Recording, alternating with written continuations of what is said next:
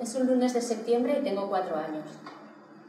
De la mano de mi tía entro en un espacio abierto, acotado, con el suelo de tierra y piedras de muchos tamaños. En un lado de este patio hay un círculo de niñas que yo veo muy mayores, excepto una de ellas que me mira con ojos asustados. También para ella hoy todo es nuevo. Mi tía se marcha y yo me convierto en un elemento más de ese espacio, de ese orden que cada uno de los cuerpos ocupa en la fila que se ha formado para entrar en clase. Aquella mañana que por primera vez estaba hecha de horas.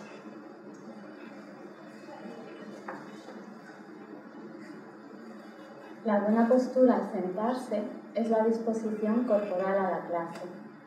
Orienta tu mirada al frente, donde se encuentra el docente, con las piernas juntas apoyadas en el suelo, la espalda recta o ligeramente inclinada sobre el respaldo, las manos dispuestas para la escritura o apoyadas sobre la tabla del pupitre en señal de atención.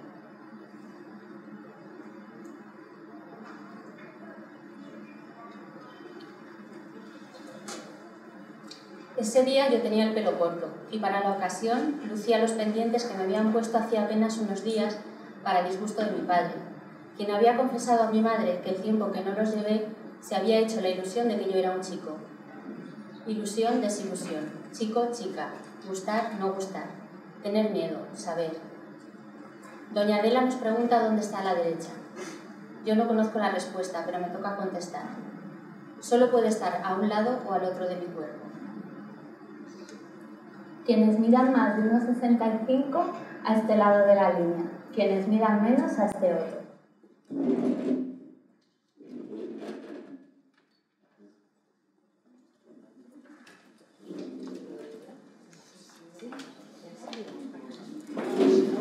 Aquí no. Yo mido menos. Quienes midan más de 1,65 a este lado de la línea, quienes midan menos a este otro.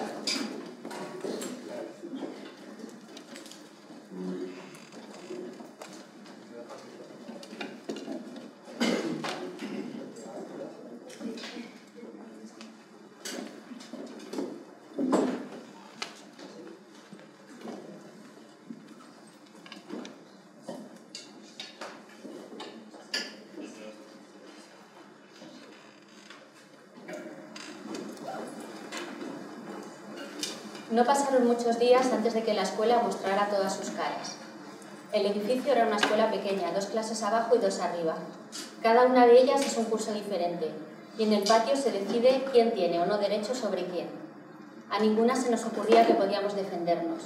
¿Podíamos? En clase aprendemos muchas cosas, aunque no significan lo mismo para unos que para otras. A los 10 años sé que los golpecitos de la regla de madera de don Nicolás en las nalgas de las niñas son un premio por haber resuelto correctamente el problema de matemáticas. La madera nunca rozó el culo de ningún niño, no sé por qué. Quienes sean zurdas a este lado, las personas diestras a este otro.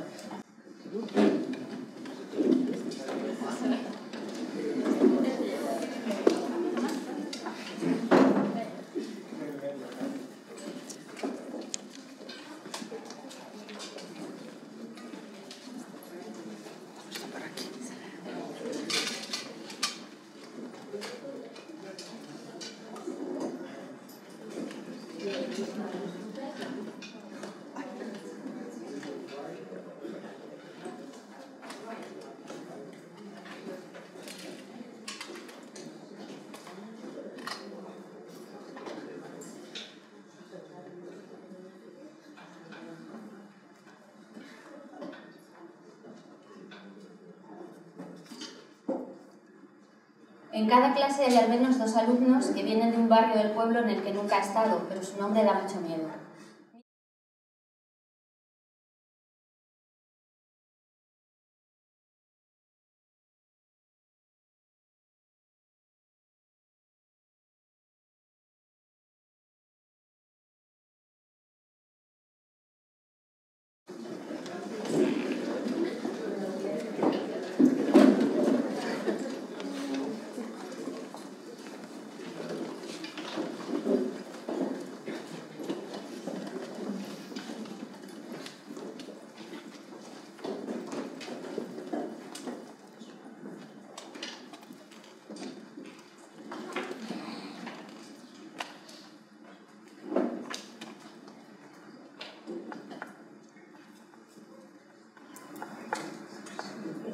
¿A ti quién te gusta? Me pregunta una mañana Carmen. A mí Julián el Nutria, a Pili le gusta Víctor y a Tere Juan Carlos y a ti. Yo me quedo con la mente en blanco y giro la cabeza para encontrar entre los chicos alguna cara que encienda esa llama desconocida que por el momento no noto. Sigo buscando y en la fila 3 me fijo en Manolo. La valoración es rápida, es tranquilo, no es feo y es algo rubio, me vale. Manolo, digo con seguridad, me gusta Manolo. Y a partir de entonces empieza un proceso donde Manolo es mi creación y yo trabajo a diario para mantenerlo en el centro. Quienes hayan deseado alguna vez a alguien del sexo contrario a este lado, quienes nunca a este.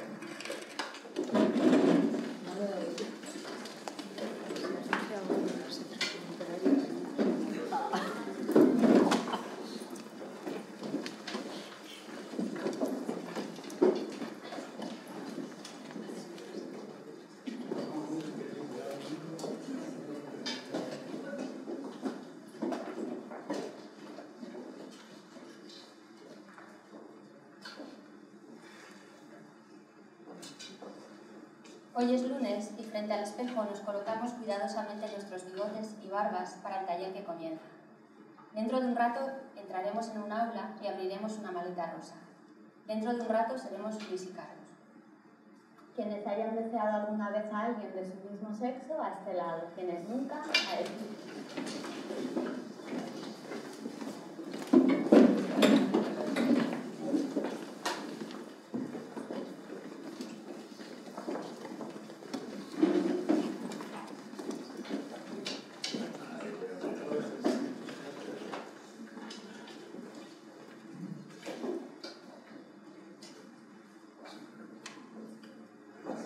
La línea, ya no va a haber posibilidad, ¿seguro?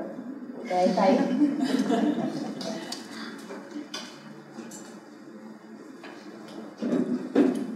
Bueno, pues como teníamos un papel un poco extraño como directora del curso y ponente y no sabíamos cómo presentarnos, pues decidimos presentarnos aquí. Eh, para quienes venís hoy por primera vez, que creo que nadie, pero por si acaso, somos colectivo y, vamos a hablar hoy sobre pedagogía queer y sobre la escuela y las prácticas que desarrollamos desde ahí. Antes de empezar con este papel doble de ponentes y directora, pues imaginamos que se ha llegado un mail con los textos. En ese mail había tres textos, dos eran los textos complementarios de la sesión de Tatiana Santana y el otro era el que nosotros hemos propuesto, que os invitamos bueno, a que a lo largo del debate y de la sesión saquéis todo lo que os apetezca en relación al texto y lo comentemos aquí de nuevo.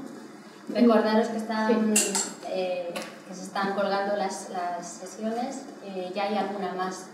bueno, cada semana se va colgando la de la semana que viene. Solo recordar. Eh, pues a ver, ¿por dónde empezamos? hoy estoy especialmente dispersa, así que agradeceré que habléis bastante. Entonces, eh, para hablar de, de, las pedagogías queer, eh, lo primero que nosotras nos planteamos es por qué la escuela, ¿no? Entonces, en primer lugar, tiene que ver, bueno, pues porque como eh, artistas, gran parte de nuestros proyectos transcurren por espacios que son educativos y que toman un formato que tiene que ver con los talleres y con la intervención en esos espacios. Por otro, porque como feministas eh, consideramos que la educación es un campo básico para cuestionar ciertas normativas y, y modelos hegemónicos. Y por otro, porque gran parte de nuestro trabajo tiene que ver con repensar de una forma crítica las identidades y cómo se articulan. Entonces, en ese sentido, sí queríamos em, empezar un poco eh, hablando de cuál, era de cuál es nuestro posicionamiento con respecto a la identidad y cuál es la relación que encontramos entre la identidad y la escuela. ¿no? Eh, nosotros partimos de una visión anti-esencialista de la identidad, es decir, no consideramos que la identidad sea algo conformado para siempre, ni que tenga que ver con esencias que permanecen fijas en el tiempo. Eh, nuestra visión es que se trata de procesos que son eh, articulatorios, que van cambiando eh, y que se van construyendo en, en relación con otros y con un exterior que vamos a llamar constitutivo, es decir, con todo aquello que es diferente, pero que va conformando nuestra identidad, ¿no? que marcamos como una diferencia, pero que esas fronteras entre lo que yo soy y lo que está fuera de mí van a ir cambiando. De hecho, de ahí esta idea ¿no? de, de pensar la identidad como un proceso articulatorio y como un proceso que evidentemente es performativo, ¿no? Es decir, aquí el eco de toda la teoría queer y de las aportaciones de teóricas como Judith Butler, bueno, pues para nosotras es, es fundamental. Entonces, teniendo todo, como esta visión o esta idea de la identidad y esta forma de entenderlo, de entrada creemos que la escuela, por un lado, es un espacio que funciona a modo de ese exterior constitutivo, donde yo me estoy relacionando continuamente con otras personas y voy conformando mi propia identidad. Eh, a su vez, eh, teniendo en cuenta todas las horas que pasamos desde que somos súper pequeñas ¿no? en el espacio escolar, eh, consideramos que es uno de los espacios esenciales de socialización, en donde se nos enseña eh, no solo a conformar nuestra propia identidad, sino en esa articulación de la identidad a cómo tenemos que relacionarnos con los otros cuerpos. Entonces ahí se nos están dando un montón de pautas. Y queríamos por eso partir de, bueno, hemos empezado con una cita de Skosowski Sedgwick, que para nosotras sí que tiene que ver mucho con esto de las pedagogías queer, porque de entrada consideramos que toda pedagogía queer tiene que ver con el deseo, ¿no? El de, y muchas veces son deseos que cuando éramos peques pues no pudimos cumplir y que ahora tratamos de imaginarlos y de ver cómo podríamos llevarlos a la práctica. Entonces, en esta idea ¿no? del deseo y de lo biográfico, sí queríamos empezar planteando una serie de preguntas y estáis invitadas a, a comentarlas en el momento en que queráis, hacéis así y habláis, eh, que tienen que ver con los recuerdos que tenemos de nuestros cuerpos en ese espacio escolar ¿no? y que van a tener que ver eh, con el propio espacio, es decir, el propio espacio físico y cómo está constituido, eh, con el mobiliario, con los horarios, ¿no? cómo se estructuran esos espacios, con la voz eh, y con todo un disciplinamiento del cuerpo que sucede ahí pero que también van a tener mucho que ver con un espacio que es simbólico, ¿no? es decir, con todas las relaciones que se están dando ahí, que contienen ese espacio y que lo construyen. Así que, pues nada, abro el debate a, por ejemplo, cómo os movíais en la escuela. ¿En fila? ¿Vale? Poco. Poco. Poco cambiada cuando yo fui una persona adulta de y muy acortado cuando tenía libertad para todo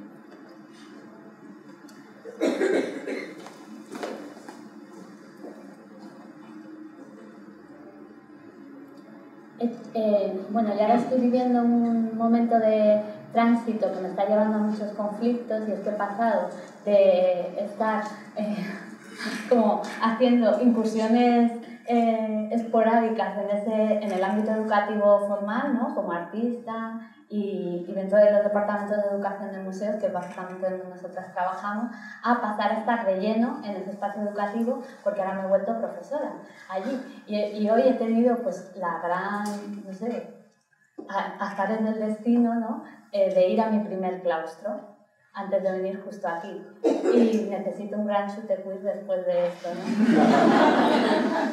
y cuando estaba ahí en el claustro, pues una de las cosas que me llamado la atención era que nos, eh, estaba diciendo ¿no? el jefe de estudio, eh, es un instituto bastante grande, entonces a la hora de la salida, dos y cuarto de la tarde, como es normal, todos los cuerpos que están allí están deseando salir y hay pues aglomeraciones en las puertas. Entonces nos decían que tenemos que indicar al alumnado que tienen que bajar por una escalera en particular y salir por una puerta y no por otra. Y a mí aquello me parecía, ¿no? Como en plan, ¿cómo voy a hacer eso? Es decir, cómo el propio espacio ya está marcando por dónde tienes que andar. Eh, bueno, no sé, que me llevaba ahí como a pensar un montón y digo, lo voy a traer aquí a ver si me da la solución de mañana porque llevo 10 días en ese instituto y ya tengo fama de que estoy para allá y soy la hippie del lugar fatal, ¿por qué no? Pero a ver cómo gestiono esto que tiene que ver con el movimiento y el controlar. O cuando vas, vas al baño. Mm, no sé si pasa, pero para mí una de las regulaciones básicas que tuvo la escuela es que te marcaba cuando tenías que ir al baño. Y creo que de ahí mi trauma, yo que voy bastante a hacer pis, de cuando estoy en una charla o algo, que me siento fatal y me tengo que levantar antes de que acabe. Y creo que viene ¿no? como de esta referencia constante a, a la escuela y a lo que allí se nos ha enseñado. Bueno, todo esto son solo ejemplos eh, que nos servirían para pensar en ese espacio educativo como un espacio, como decíamos, en el que se nos enseña a relacionarnos con, el, con los otros cuerpos, pero sobre todo se nos enseña también a relacionarnos con nuestro propio cuerpo, es decir, se nos marca unas necesidades corporales y se nos regula de una forma que es bastante evidente, ¿no? Eh, la escuela puede ser un montón de cosas que además nosotras creemos mucho en el, en el espacio educativo como un espacio para imaginar, para jugar y es todo eso, pero también es verdad que la escuela tiene una función que, que es punitiva y que es de disciplinamiento del cuerpo, ¿no? Es decir, que eh, Foucault cuando hablaba de esos espacios del poder y del saber, pues la escuela estaba en, en uno de sus principales espacios, ¿no? Eh, claro, la cuestión es que este disciplinamiento del cuerpo va a suponer, como, como os comentábamos, cumplir con un papel de normalización muy fuerte de los cuerpos. Es decir, se nos enseña a cómo me debo sentar. Eh, ¿Cuántas veces habéis, no sé, recordáis haber oído cuando estabais en el cole que te sientes bien? ¿Y qué es sentarse bien? Eh, cómo ese sentarse bien está atravesado por muchas otras normas que tienen que ver entrada con el género y con el sexo, porque no se le dice que se siente bien igual al niño que a la niña, pero que van a tener que ver con muchas otras cuestiones, ¿no?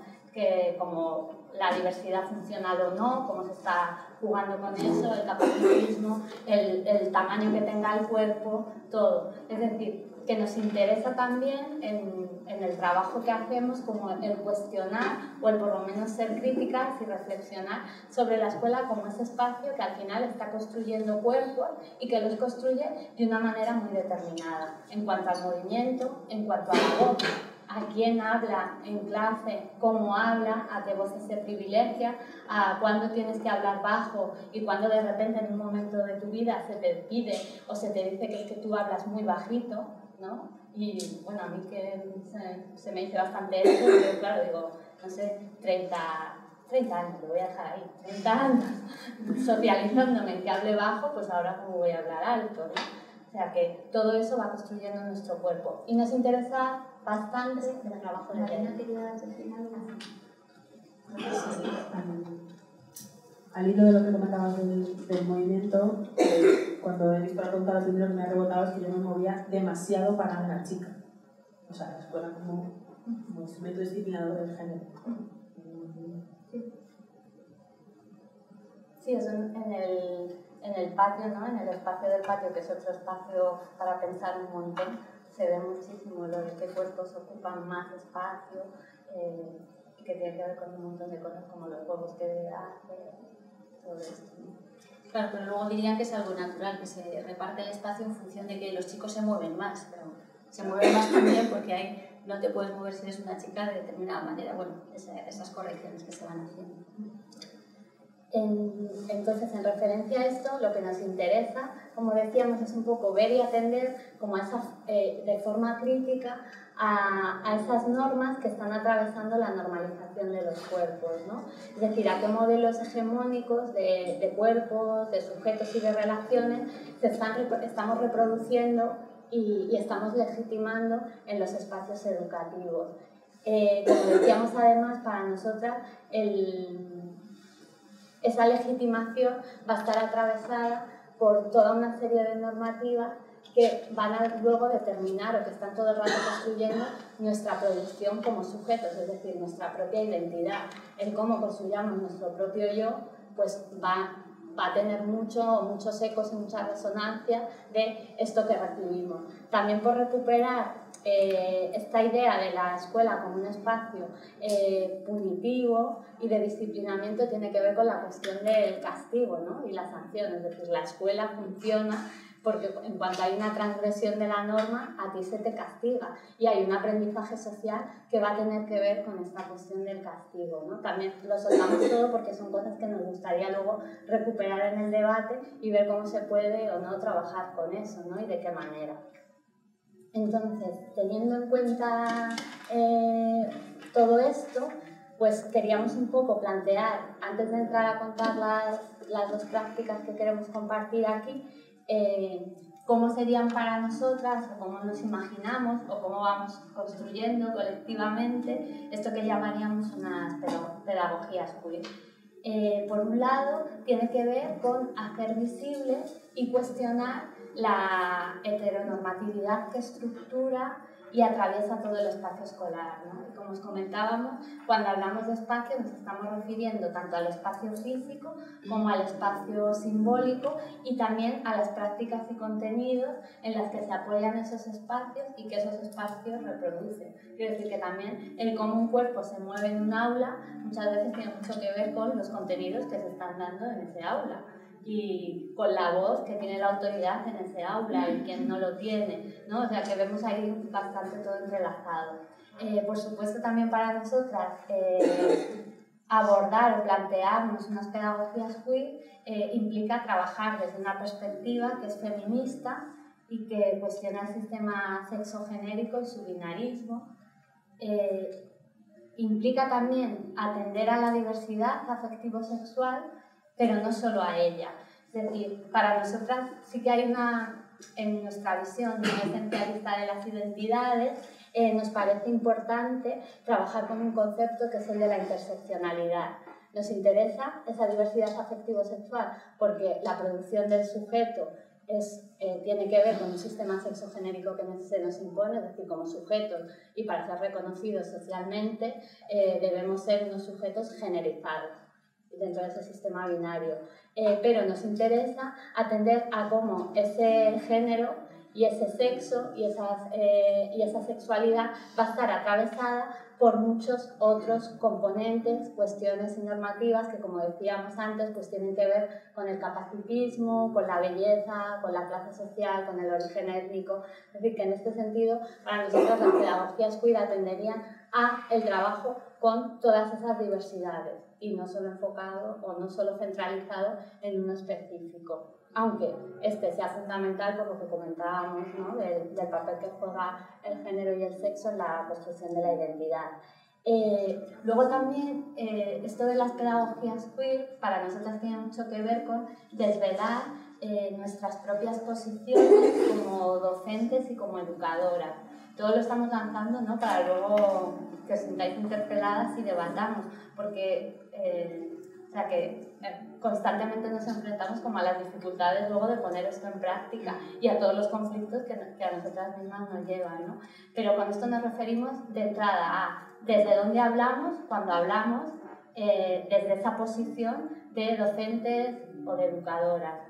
Eh, en, este, en, este, sentido, ¿no? y enlazando con lo que decíamos del trabajo desde una perspectiva feminista, tiene que ver con una crítica a la objetividad del conocimiento, evidentemente, pero también con el mostrar nuestras propias vulnerabilidades y fragilidades. Y esto lo planteo como, como un conflicto, como algo difícil y contradictorio en cuanto a que tú, como docente, por ejemplo, cómo te muestras frágil y vulnerable dentro de un espacio como es un aula, en donde estás ejerciendo una posición de poder y de autoridad, en donde a veces eh, vas a hacer uso a veces, la mayor parte de las veces, de esa posición, en donde incluso muchas veces tú necesitas esa posición, porque yo no soy un cuerpo neutro ni ajeno a ese espacio. Es decir, si yo entro a una clase eh, con eh, 35 alumnas o alumnos, a mí ya se me está leyendo como un determinado cuerpo, o sea, ahí ya entran en juego un montón de cosas y probablemente pues voy a tener que gestionar todo eso en ese espacio del aula. Entonces, hasta qué punto yo tengo...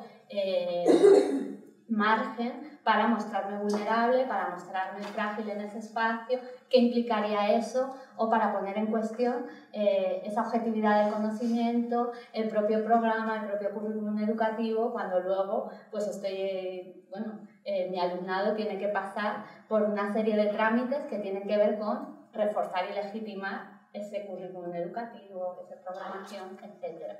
Todo lo dejamos ahí caer, ¿no? Pero Eh, otro de los puntos es que eh, para nosotras las pedagogías queer significa trabajar de manera crítica, eh, como decíamos, con esa noción de autoridad y con las relaciones de poder que se están dando dentro y fuera del aula, pero también viviéndolo de manera conflictiva, es decir, porque qué pasa cuando hay un conflicto en el aula, cómo resuelvo yo eso, si soy crítica ¿no? con esa noción de autoridad o cómo juego con eso o porque eh, a, su vez muchas veces eh, te encuentras como tirando justo de esa posición para legitimar ciertas cosas que si no están quedando fuera del aula, ¿no? Y para, no, para que no se sucedan ciertos conflictos que precisamente tienen que ver con esa heteronormatividad que estamos cuestionando.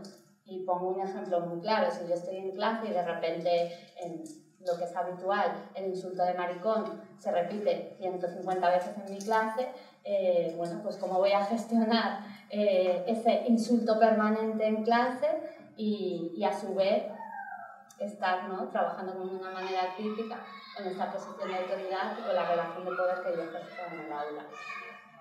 Y, y en definitiva, para nosotras, el, el intentar imaginar o el intentar poner en práctica unas pedagogías queer tiene que ver sobre todo con volver extraña la normalidad del aula. Eh, por eso, y aquí enlazamos con lo del principio, no es solo para nosotras trabajar en torno a la diversidad afectivo-sexual o en el cuestionamiento del binarismo de género, bueno, y otras muchas cuestiones que tienen que ver con ello, sino el volver, el cuestionar esa normalidad del aula que está funcionando todo el rato y que es naturalizada, que nunca emerge, que, ni siquiera nos la planteamos, es decir, que no nos planteamos el por qué los cuerpos en el aula se sitúan de una determinada manera, por qué se habla de una determinada forma, por qué nos movemos de una determinada manera, y todo eso tiene que ver ¿no? con esa normalidad que, que estamos reproduciendo.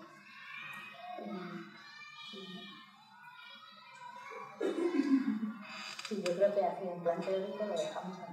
O sea, podemos retomar cosas, pero... Vale. Nada, pues eh, como ha dicho Yera, queríamos comentaros simplemente dos proyectos, más o menos. Uno es uno de los talleres que hacemos en el K2M con, con el equipo del K2M además. Eh, llevamos haciéndolo cinco años, o sea que lo hemos ido trabajando juntos, también modificándolo y, y viendo lo que funcionaba mejor, lo que no. Y el otro es un proyecto más eh, nuestro, digamos, más de práctica eh, que lo, lo, comentamos. Entonces, eh, este taller que, que os digo empezó, es que tiene una peculiaridad, es que es un taller que hemos dicho así, normalmente lo llamamos el taller queer, sin más, porque tiene un título que va cambiando cada año. Entonces, se ha llamado desde el primer año que se llamó pintarse las uñas, luego andar con tacones, dejarse bigote, y este año lo hemos llamado bye bye normal.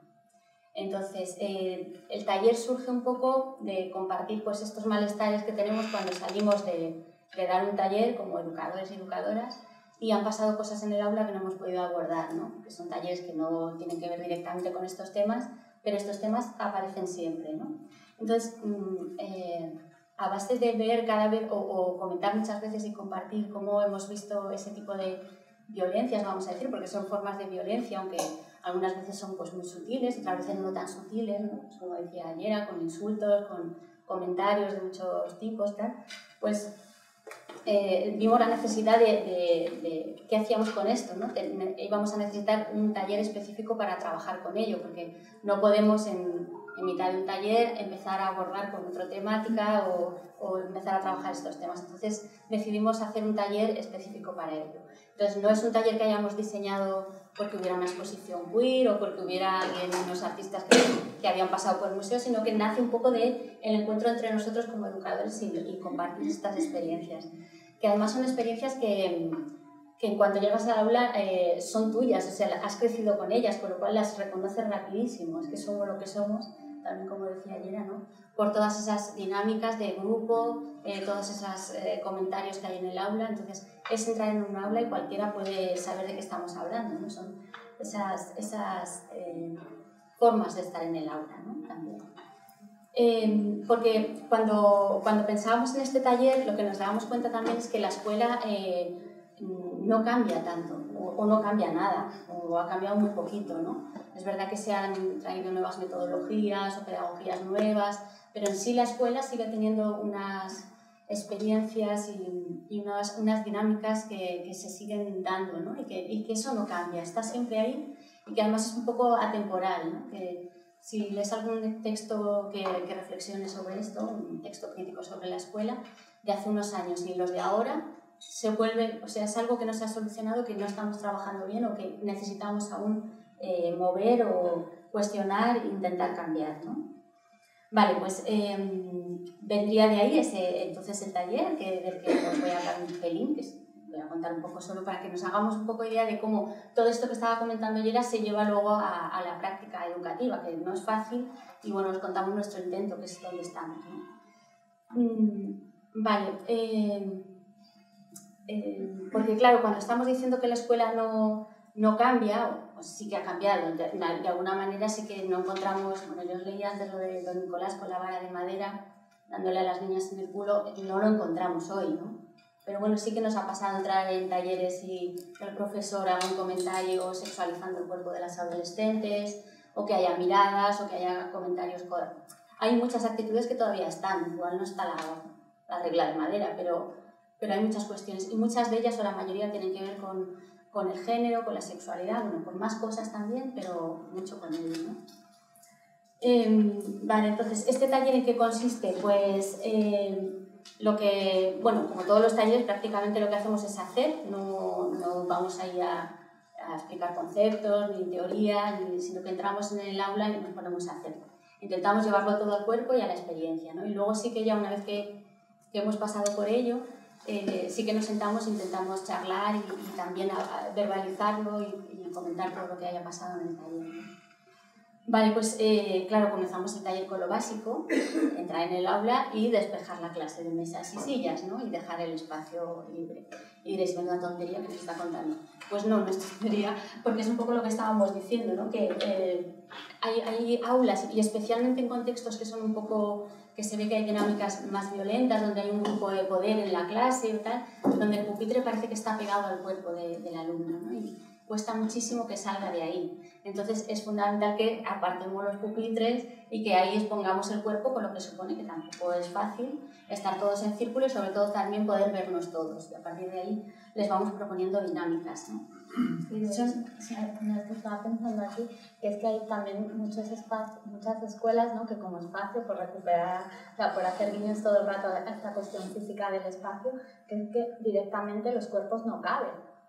No hay espacio físico para moverse. Una de mis peores experiencias como educadora fue en un colegio que Charlie conoce, como este de Tres Cantos, eh, de Pino Sierra. Pino Sierra, sí que cuando entrabas a esas aulas eran absolutamente claustrofóbicas. Claro, luego entendía muchos de los comportamientos que ahí se estaban dando ¿no? en ese espacio, que tenían que ver con esta cuestión de cómo los cuerpos eh, o sea, no se podían mover, no entraban ahí. ¿no? Entonces, ahí esa cuestión aparentemente tan tonta de despejar el aula a veces se hace imposible porque directamente no tienes donde mover ni las mesas ni las sillas. Luego también esa organización del, del, espacio y el tiempo, o sea, pues que no quepas y que luego los tiempos estén acotados de esta forma y tal, que al final si nos damos cuenta es que solo podemos, tenemos posibilidad de, de hacer un puñado de gestos, ¿no? En el, o sea, si el cuerpo al final en el aula hace muy poco, la, la gestualidad es mínima, ¿no? Y, la, y lo que hacemos, los hábitos, ¿no? También está, claro, basado en esa, en esa repetición y que nunca pase nada diferente. Claro, cuando llegamos nosotros sí que pasa algo diferente, porque venimos a hacer un taller y la montamos normalmente, vamos, sí que es, es romper un poco la rutina, que de ahí tiene también un poco la, la fuerza. Bueno, eh, eh, no sé, os voy a contar así alguna dinámica que hacemos por, porque os hagáis idea. Pues, eh, como decía, siempre son, suelen ser dinámicas y, y propuestas muy sencillas, no, no, vamos a nada complicado, pero que, que las no, son muy sencillas, pero las trabajamos mucho. O sea, sí que están muy pensadas, cada frase que decimos ha pasado eh, el examen, lo hemos, lo hemos estado mirando si funciona o no, hemos visto cómo funciona luego en el aula, porque claro, no tiene nada que ver lo que pensamos a lo que luego pasa cuando lo hacemos. Eh, pero bueno, eh, tan sencillas como a veces pues llegamos con la maleta en este taller que os, os estoy contando, el pintarse las uñas. abrimos la maleta rosa, está llena de complementos, pelucas, bigotes, creo que hay alguna foto por ahí, estas cosas, ¿no? Y les vamos dando un complemento a cada uno de, de los alumnos, de las alumnas, y luego les damos una etiqueta amarilla donde viene, digamos, una actitud que tienen que performar o que tienen que encarnar en el cuerpo, ¿no? Entonces, las etiquetas son tipo, soy muy masculino pero no quiero que se me note. O a veces soy muy femenina y a veces muy masculina. O soy una, una tigresa. Bueno, como veis son súper difíciles. Claro, porque dicen, pero profe, ¿cómo vamos a hacer? Soy muy masculino pero no quiero que se me note. Es difícil, ¿no? Eh, pero ahí está, en el momento que les estás planteando eh, esa cuestión, están pensando, vale, ¿qué es lo masculino? ¿Qué es que no se note? ¿Cómo lo trabajo? ¿Cómo lo, cómo lo performo? ¿Cómo pongo el cuerpo para hacer esto? Y bueno, eso es lo que buscamos un poco con cada una de las propuestas, eh, que tengamos que buscar, pensar y cuestionar y sobre todo darnos cuenta de cómo nos movemos, cómo actuamos, bueno, todo esto. ¿no? Em, Vale, o pasan cosas también con, esta, con este ejercicio como, como que se cuestiona eh, lo que nombramos como natural. Cuando uno de los chicos se pone en los tacones estos, pues claro, y se pone a andar por la clase para, para, hacer, eh, para encarnar esa etiqueta que le ha tocado, se da cuenta que andar ya es otra cosa, ¿no? Porque tiene unos tacones y ya el cuerpo se convierte, o sea, el, el andar onduleante este que, se supone que es natural de las mujeres, pues igual tiene que ver mucho con los tacones que llevan o llevamos, ¿no? Entonces, bueno, todo ese tipo de cosas eh, para, decir, para explicaros que cómo entramos en temáticas eh, a través de dinámicas de este tipo, ¿no? Súper sencillas, pero que nos hacen llegar al tema que nos interesa tratar. Otra de las dinámicas que hacemos, eh, que esa la hemos mantenido durante los cuatro o cinco años que llevamos haciéndola, que es la de pintarse las uñas. Se pintan las uñas por parejas unos a los otros y, a partir de ahí, pues como os imagináis, pues empiezan a ver el cuerpo diferente, no saben dónde poner las manos, empezamos a hablarles de cómo se sienten y, y también empieza, sale inmediatamente la implicación que tiene ese gesto, ¿no? porque ya va más allá de cómo ha cambiado tu cuerpo o que te dé risa ver a tu compañero con las uñas pintadas. Es que ya enseguida empiezan a plantearse, pero vamos a salir al patio con las uñas pintadas. Es que, pero voy a ir a mi casa así. Entonces, Vale, sí, pues vamos a intentar. Sí, vas a ir a tu casa. ¿Qué pasa? ¿Qué pasa si vas a.? Pues es que a mí me, me mata mi padre. O, o, mis amigos directamente me van a pegar. Pero vamos a, y, y con esta cosa de, de, de, lo, de lo, más tonto, pero, ¿cómo? pero porque te hayas pintado las uñas. Entonces, es esa mirada que, que vuelve extraño una cosa tan, tan tonta como pintarse las uñas. No, que vuelve extraño el que haya una violencia porque te hayas pintado las uñas. ¿no? Bueno, pues eh, también sirve para cuando no se las van a dejar porque dicen, no, yo me lo tengo que quitar. Eh, bueno, pero vamos a imaginar, ¿qué pasaría? ¿Qué pasaría si hoy vas al entrenamiento de karate de los niños con las uñas pintadas? Pues que los padres se van a meter conmigo, o sea, o me van a mirar mal, o claro, me van a mirar mal, seguro. Entonces se las quito, pero pero eso nos interesa, ¿no? que, se, que se planteen qué pasaría si, si, fueran con las uñas pintadas, aunque no se las dejen. El gesto este de pintarse las uñas, ¿no? que es como tan pequeñito y tal, porque bueno, nuestras prácticas sí que pasan mucho, os habéis dado cuenta por lo pequeño, no vamos a hacer grandes revoluciones, eh, salvo pintarnos las uñas, pues mmm, sí que es como un baremo, mmm, yo así con los años, que llevamos muchos años pintándonos las uñas, eh, de el estado de salud de un centro educativo, ¿no? Empezamos este, este curso con, con un instituto una pasada, el Europa, que es bachillerato de artes, no sé qué, como toda gente muy molona, y encima era un primero de bachillerato, ¿no? Creo, un segundo. Total, que llegamos ahí y esto fue como el subidón que quieres tener de octubre, porque llegas ahí con tu taller y sales en plan enchida de esto mola un montón porque, bueno, los chavales y la chavala pues eran como que ya eran muy diversos de por sí y lo de pintarse las uñas, no sé, con las uñas pintadas, pues todo era maravilloso y en el, en el instituto no vivían para nada ningún tipo de violencia, nada. Claro, luego aterrizamos en la que es nuestra realidad cotidiana, porque 10 Europa sería lo excepcional, ¿no? Y luego están los otros centros. Y en el último que tuvimos hace poquito, claro, los chavales estaban agobiadísimos porque eh, se nos había olvidado el quitasmalte, no había sido nada. De hecho, hubo una situación de emergencia por el quitasmalte y claro, empezaron a agobiarse muchísimo porque tocaba la hora del recreo y tenían que salir con las uñas pintadas. Entonces nosotros le quitamos ¿no? Eh, como importancia al asunto, en plan de venga, no pasa nada, tal y cual, pero claro, cada vez les veíamos con unos estados de ansiedad mayores. Y lo primero que nos dijeron fue, es que en cuanto atravesemos la puerta del patio, vamos a recibir hostias. Entonces, claro, es como, wow, qué dos contextos educativos tan distintos. En uno, donde me están diciendo que, que, al contrario, que el que salgan con las uñas pintadas de rojo, pues incluso va a molar, y el otro, que es que en cuanto atraviesen el espacio y salgan al patio, pues les van a pegar, ¿no? Eh, bueno, pues eh, es verdad que como os había contado desde un principio, el, el, taller lo que intentamos trabajar sobre todo mucho es todo lo que tenía que ver con la construcción de la identidad, de la identidad de género, pero no solo, ¿no? Desde el principio también introducíamos alguna dinámica pequeña, que luego ha ido cogiendo más fuerza, eh, para cuestionar la normalidad, ¿no? Entonces hacíamos una línea que se ha hecho pues, una dinámica hay mucha gente que la trabaja, la línea típica que pones eh, normal y a partir de ahí se tenían que situar eh, más cerca o menos cerca dependiendo lo raro que te considerabas que eras, ¿no? Con el nombre. Tal. Esto, eh, solo con esa dinámica también empezaban a salir eh, cuestiones y otras categorías que van más allá del género, o, no es que vayan más allá, que se entrecruzan con el género. ¿no? Y entonces, eh, el año pasado ya sí que nos centramos muchísimo en eso de cuestionar la normalidad e introducir lo de volver extraño y raro lo normal. ¿no? Y eso es, eh, que ya empezamos el año pasado a hacerlo, esta dinámica de la línea. ¿no? Eh, atravesar, llegamos al aula y lo que hacemos este año es atravesar el aula con, con esta línea y decirles, bueno, vamos a empezar el taller, los raros se ponen a un lado, por favor, y los normales al otro. Y ya podéis imaginar lo que pasa, ¿no? ¿Cómo los raros? Pero tal, pero, pero que pues depende, pero yo no, pues no lo sé, pues tal, cual. Y ya empieza desde ahí, desde ese momento eh, empieza el lío, porque además esto es un listado enorme que tenemos aquí, lleno de, de, de frases que les vamos diciendo para que se sitúen a un lado o al otro de la línea. ¿no? Es muy curioso porque eh, a veces con lo de raro y normal eh, también visibiliza mucho cómo nos construimos en función del otro, que, que, es lo que decíamos, cómo funciona la identidad. Lo típico que ves a tu amigo raro, rarísimo, que se ha colocado eh, en lo normal y tú estás en lo raro y entonces pues, pues este es, o sea, esto que se van cambiando en función de cómo se han colocado los compañeros, ¿no? También, bueno, esta, esta cosa de, de cambio.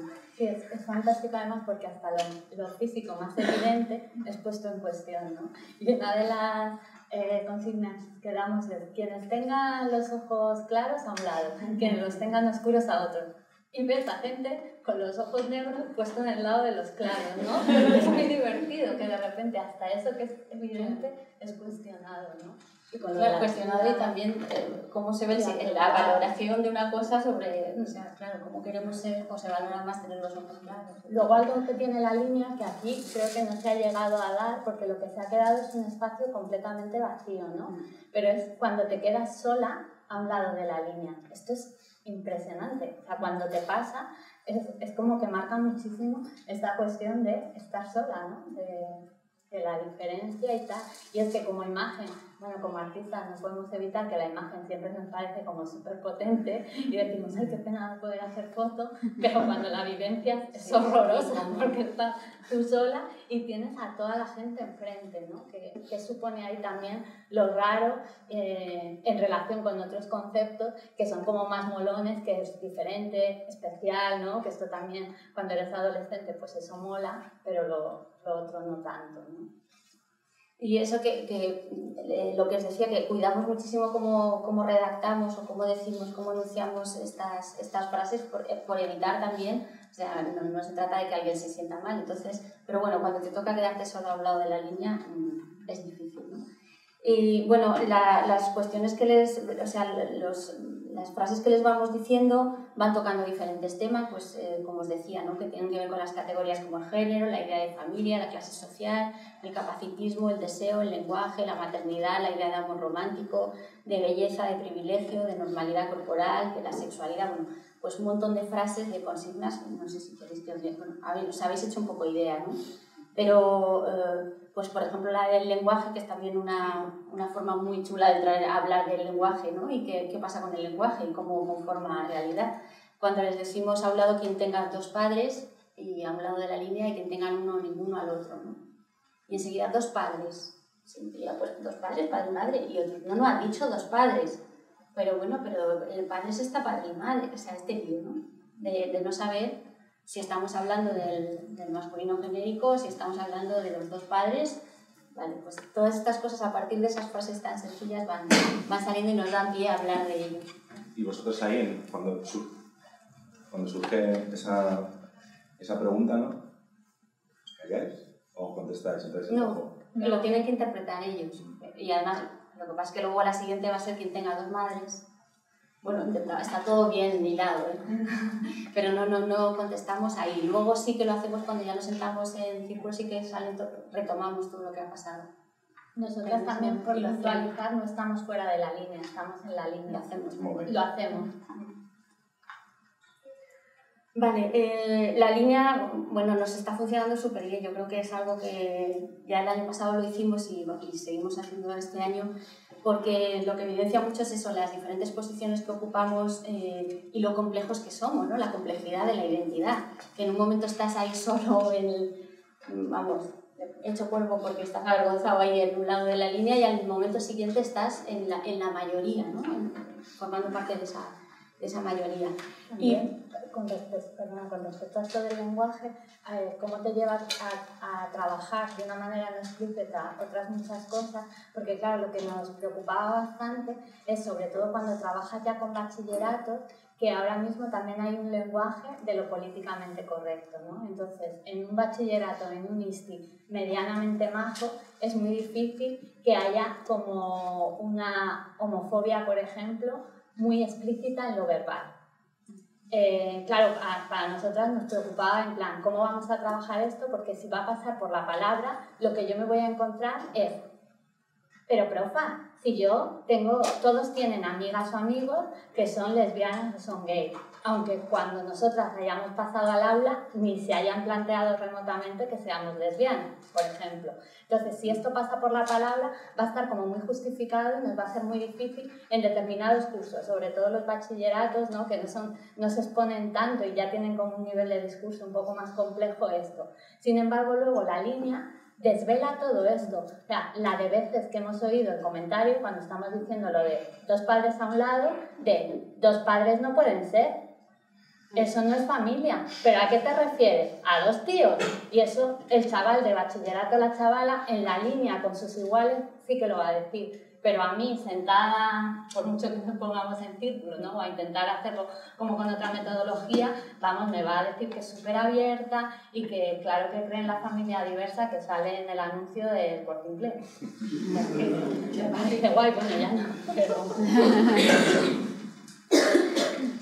Vale, entonces, bueno, pues no es por venderos la línea, pero es para contaros que nos está funcionando y compartirlo aquí, ¿no? Sí, utilizarlo. y ver cómo, bueno, pues cómo esa identidad es, es una identidad que es de un aquí y una ahora. O sea, es que es, es porosa, es cambiable, se modifica por nada. Bueno, hay una, una de las consignas de estas que decimos, que es eh, que le hayan llamado zorra alguna vez, que se pongan a un lado y los que nunca le hayan llamado. Y claro, los que se ponen que nunca le han llamado, pues algún gracioso siempre va y le dice al otro zorra, y se tiene que cambiar de la línea en ese momento. ¿Ves? O sea, que es que lo que sí pone en evidencia es que estás a un lado y al otro de la línea así, ¿no? El, cambio, ¿no? Lo, lo poroso, sí, lo, lo cambiable que es la identidad. Vale. em, yo es que te traigo todo apuntado porque si no puede ser... Va, así. eh, también lo que, lo que pone un poco eh, en evidencia la línea es que eh, estamos todo el rato posicionándonos, ¿no? Y tenemos que, les obligamos cuando decimos raro o normal, tienen, tienen que situarse o a un lado de la línea o al otro, o si son muy espabilados dicen yo quiero uno en el medio, pues en el medio, pero tienen que posicionarse. Eh, pero también eh, lo que evidencia la línea es que hay algunas de estas consignas que estás posicionado de por sí, o sea, quiere decir que, que las llevas en el cuerpo, ¿no? Estamos hablando de diversidad funcional o, o mides uno más de 90 o, has nacido en otro país, ya la línea te va a marcar, no es, no es, tu, no es tu elección, ¿no? viene ya dado ¿no? Esa, mm, ese rasgo de, de, de identidad. ¿no? Luego desde ahí tú tienes también, puedes cambiar muchas cosas, pero digamos que estas, esas dos cosas te componen, ¿no? te, te construyen quién eres. Y, vale. Eh,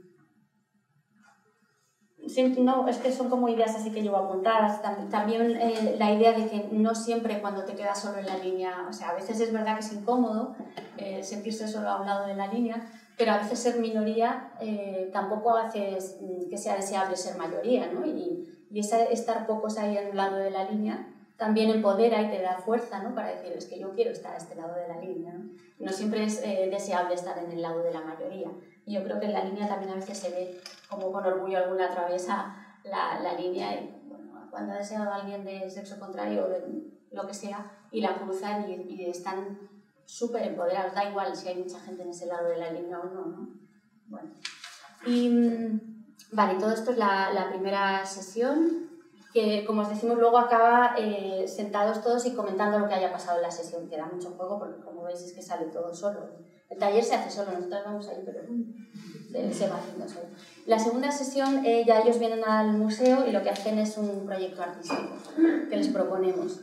Entonces tienen que hacer unas, unas eh, serie fotográfica que les- con la temática que les decimos y ya está, no os voy a contar mucho más. Lo único deciros que, que sí que nos interesa esa segunda sesión porque ellos, sabéis, como los chavales además ahora y las chavalas son productores todo el rato de imágenes y de discurso, pero ellos no lo saben. Entonces, eh, al hacerlo de esta manera, que es una propuesta de, de proyecto artístico, sí que ya lo tienen que hacer de una manera consciente. ¿no? Entonces, cuando les decimos que tienen que hacer imágenes de la masculinidad, eh, tienen que decidir si quieren hacer imágenes de la masculinidad que ya conocemos y seguir eh, creando, o sea, eh, crear imágenes desde el estereotipo de masculinidad, llevándolo pues a, ya sabéis, a las imágenes que todos tenemos en la cabeza, o como artistas que, le- que son en ese momento, pueden decidir ofrecer otras imágenes de masculinidad y, y ampliar un poco el imaginario, ¿no?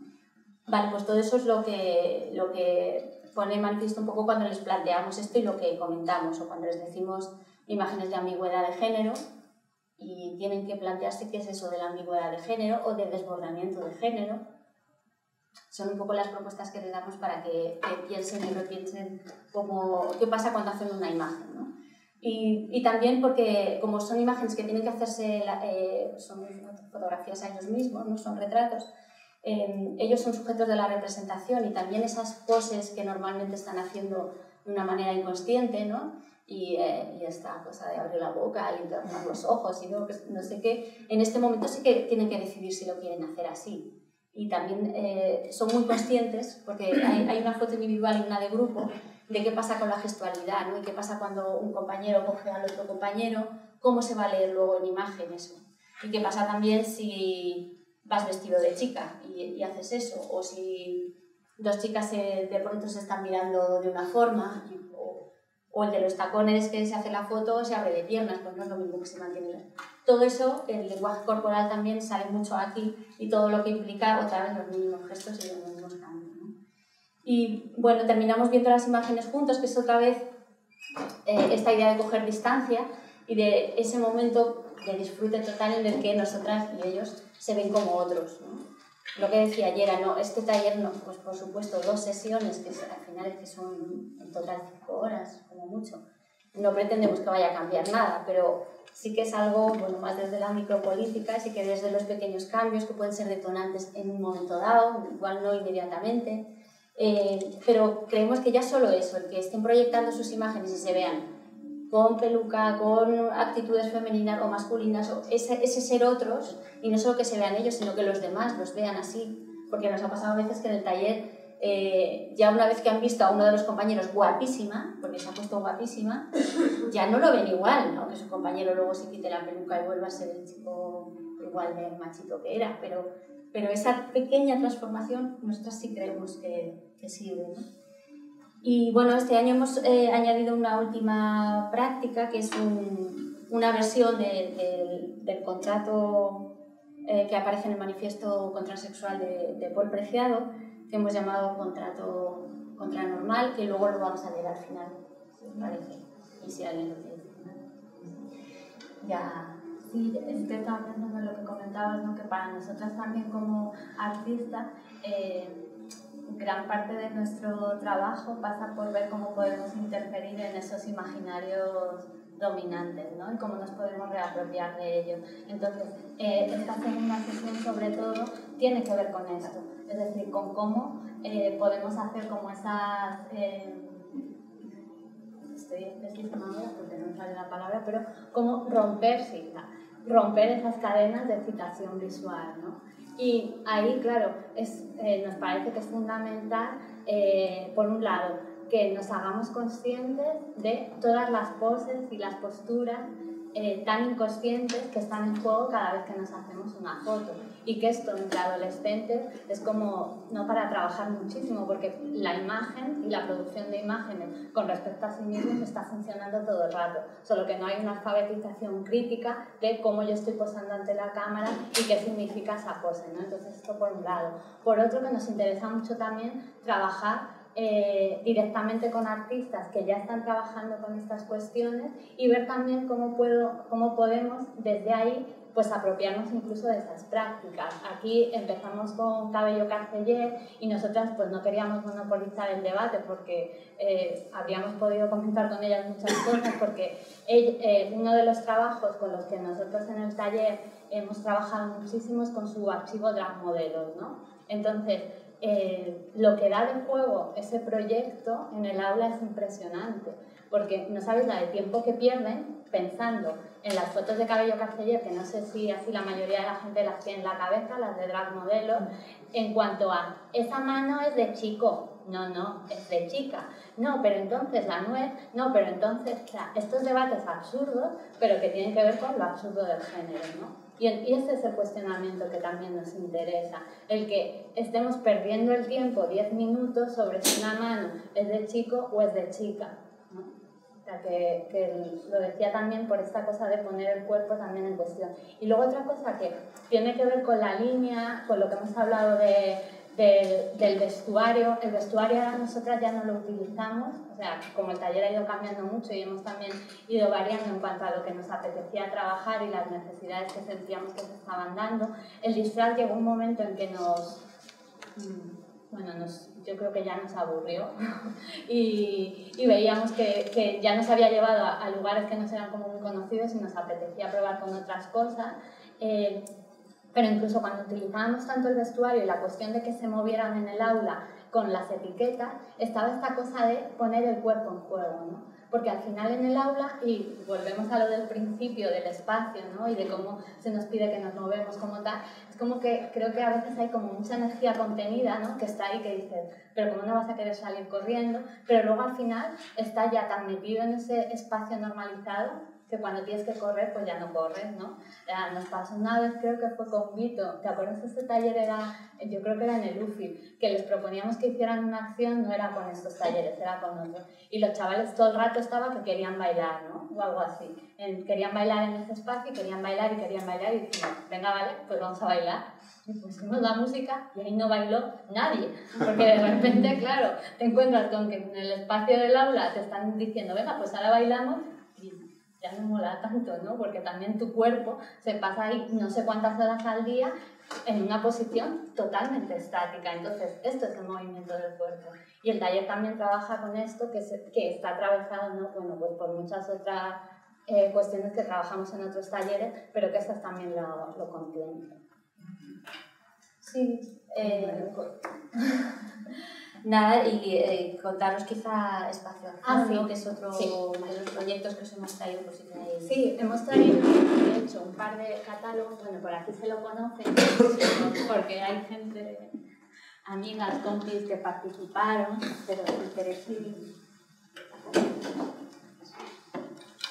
Vale, pues como os comentábamos, nos- cuando nos planteábamos la sesión nos apetecía, por un lado, hablar de una práctica que estuviera directamente vinculado más a lo educativo, ¿no? que lo trabajásemos desde ahí, y por otro, eh, una práctica que tuviera más que ver con un proyecto expositivo, con nuestra práctica más artística, pero que estuviera atravesado por esa cuestión de la educación y cómo nosotros también abordamos el trabajo desde ahí. Entonces, eh, ya hemos visto algunas de las imágenes en la presentación que hemos hecho, sí, que eran todas las que tenían que ver con el aula y tal. Y es un proyecto en el que, bueno, es a través de una convocatoria y tal, en la que nos invitan a participar en un centro de arte que está en, en la Sierra Norte de Madrid, en La Cabrera, y es un proyecto que en principio está en una convocatoria que es colaborativa, ¿no? Entonces a lo que te invitan es a hacer un proyecto de investigación y práctica artística con agentes culturales y bueno, con gente de la zona. Nosotros lo que propusimos fue eh, trasladar, bueno, nos apetecía por un lado eh, trabajar esto que tiene que ver con el cuerpo y el movimiento en relación, aquí sí que específicamente con el mobiliario del aula, que esto sí que no ha cambiado nada. Es decir, yo cada vez que entro y veo las mesas estas del color verde y las sillas, ¿no? Como que de repente te transportas a cuando tú te sentabas en esas mesas y en esas sillas, incluso el olor. Yo cuando empecé a, currar en, en, talleres en institutos lo pasaba fatal porque cada vez que entraba a un instituto me venía un olor que era conocidísimo para mí y me ponía mala. yo no quiero estar en este espacio. De hecho, ¿no? en el proyecto este funcionaba muchísimo lo de la memoria. Bueno, ahora cuando cuente yo era un poco cómo va, pero cuando esto se quedaba como exposición y cuando llegaban las visitantes, los visitantes a verla, eh, eh, inmediatamente empezaban a relatar cosas de su vida y la relación con la escuela. O sea, hay algo ahí que no sé si es el olor, el verde o... Pero todo era directo a relatar memoria, ¿no? lo tenemos dentro, o sea, el cuerpo también. Sí, entonces, bueno, aquí lo que planteamos, teníamos como, yo creo que dos meses o así de trabajo allí, eh, bueno, más todo lo que eh, estuvimos preparando antes. Entonces, por un lado quisimos trasladar todo el mobiliario de un aula a un espacio expositivo. De entrada, ¿qué pasaba ahí? ¿no? Es decir, ¿qué pasa cuando tu mobiliario que está tan marcado y que está produciendo cuerpos de una, de una manera muy determinada, lo trasladas a un espacio que no está pensado para ese mobiliario. A un espacio además que este centro en particular pues eh, no es el K2 es un centro de la periferia en donde en esta sala de exposiciones básicamente lo que se cuelgan son cuadros.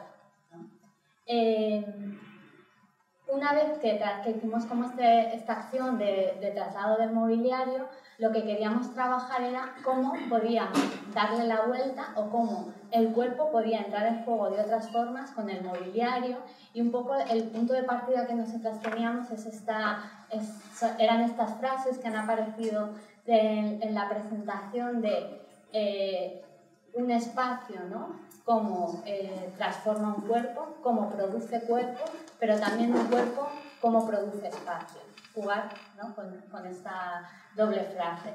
Y cómo podemos inventar otros espacios y otros mobiliarios a partir del trabajo con el cuerpo y al contrario. Entonces lo que hicimos fue eh, invitar eh, a distintos colectivos y también a agentes y a personas individuales que estaban interesadas en participar en el proyecto a que vinieran a algunas de las activaciones que hacíamos en este espacio. Entonces las activaciones básicamente consistían en trabajar con el cuerpo en el espacio expositivo y con ese mobiliario y ver qué estaba pasando cuando trabajábamos ahí colectivamente y cómo el espacio expositivo y el mobiliario se iban transformando gracias a ese trabajo con otros cuerpos. Eh, hicimos distintas activaciones y bueno, y ahí pasaron muchas cosas. Eh, de entrada además, como eh, mucho tenía que ver con la transgresión al final de lo que supone ese mobiliario y lo marcado que está. Eh, una de las estas que pedíamos era, bueno, ¿qué acción te gustaría hacer aquí, no? Y te gustaría hacer con, eh, con, con estos muebles que ves y, y cómo están situados y, y, salía como las cosas más brutas.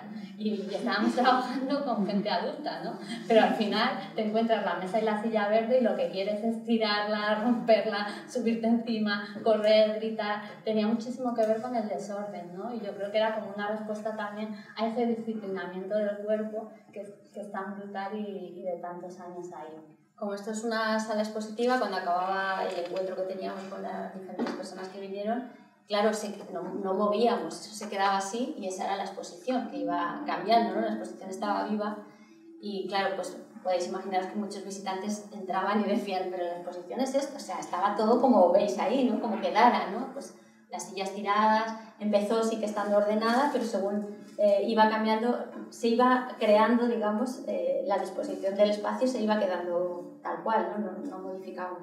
Y nosotras cuando volvíamos cada vez a trabajar, veíamos que también había, había habido cambios por parte de la gente que entraba a verla, que al ver que se podían mover, y bueno, había también unos... Eh, habíamos hecho unos carteles que también para que ellos pudieran hacer cosas en, ahí en la exposición, también se modificaba el, la exposición era todo el rato móvil, no vamos a decir, no estaba fija.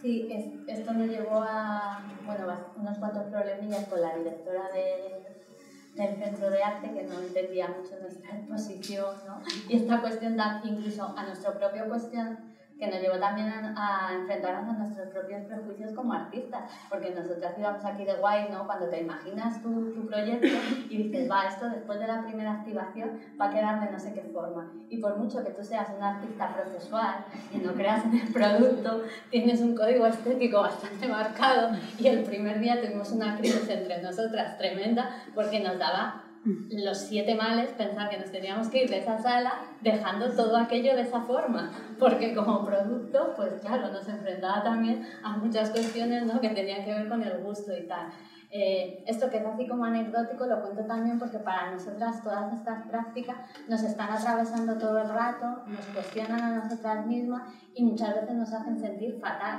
eh, ¿no? Por lo que también estás moviendo ahí y porque los- te estás moviendo a ti misma, ¿no? O sea, cuando planteábamos también esto de qué significa, ¿no? Cómo imaginamos nosotras unas pedagogías queer y lo planteábamos como conflictos es porque son conflictos que no tenemos resuelto. Por eso yo insistía en esta cuestión, por ejemplo, de cómo trabajar de manera crítica con la autoridad cuando muchas veces yo voy a necesitar esa autoridad, porque quizás en el aula se me está interpelando como eh, cuerpo leído como muy femenino de una manera en la que yo voy a tener que usar eso. O, ¿no? O sea, que todo esto me nos lleva a situaciones que para nosotras no son cómodas. De hecho, el, el taller que más os hemos comentado, hemos vivido cosas que nos han hecho sentir fatal, porque tú tampoco en, en intervenciones que son tan puntuales y tan efímeras, yo creo que también muchas veces es como muy difícil eh, valorar el efecto que está teniendo eso. Percibes cosas, pero tú luego te marchas del aula, ¿no? Que eso también es algo que es como que pensamos mucho en qué puedo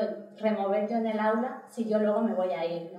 O sea, el trabajar también desde esa responsabilidad, pero que muchas veces hay que suceden cosas que al final lo que, está, lo que se te está removiendo y lo que te está atravesando es el cuerpo. Entonces, ves, por ejemplo, a gente que se queda súper afectada en un taller, pero no es gente, de repente es una chavala que tiene 15 años, ¿no? Entonces también tú, ¿cómo gestionas eso? Porque, y esto también tenía que ver con tus propias, o sea, con nuestras propias vulnerabilidades, fragilidades, como educadoras, como docentes, también cómo trabajamos eso y qué hacemos luego con todo ello, ¿no? Claro, y en ese sentido el, taller sí que es bastante diferente a otros en cuanto a que cuando sales de otros talleres sabes si ha funcionado o no el taller. Están contentos, ha funcionado bien y ya está aquí. Igual funciona bien cuando no están tan contentos, porque los has removido. Es que no, bueno, tampoco hay que machacarlos, pero digo, eh, ¿qué pasa ahí, no? Que, que no, no, no tiene el mismo funcionamiento que otros talleres. eh. Sí, esto lo veíamos que también en el departamento hemos tenido como mucho debate ¿no? con respecto a lo de las evaluaciones, y miro porque está ahí. Eh, porque lo que nos pasaba también muchas veces era que, claro, a la hora de, de evaluarnos, de valorarnos, en, en talleres en donde tú estás eh, transgrediendo unas normas que están como tan asentadas y tan naturalizadas como es el género, ¿no? o el sexo o la sexualidad, Claro, y que también, como decimos, nos están atravesando a nosotras, se te está valorando desde ahí. Es decir, nos ponían comentarios de, es, que son muy raras, y muy raras del lado de la línea que no te mola. O es que, ¿por qué están haciendo esto? Porque no, claro, porque eres un elemento que es, es incómodo ahí. Es decir, que nosotras lleguemos a, a una clase y nos eh, llamemos Luis y Carlos, eh, en los cinco primeros minutos son muy chistosos, ¿no? Porque es como, ah, es la broma. Pero cuando te han preguntado en una hora 35 veces que les digas tu verdadero nombre y tú insistes en que te llamas Luis y Carlos, claro, esta cuestión de la broma ya no es tan graciosa, porque al final es como, me estás tomando el pelo, tú no te puedes llamar Luis, o, ¿no? O sea, que de repente empieza a haber elementos que tienen que ver con nuestra propia transgresión también en ese espacio. Y, y el cómo eso también te está haciendo sentir, porque al final tú eres una persona que estás ahí, que con también tus historias, y o sea que también todo el rato nos está atravesando a nosotras. Y pues, ah, el, os leemos el contrato y por favor ahora hablad un poco o lo que.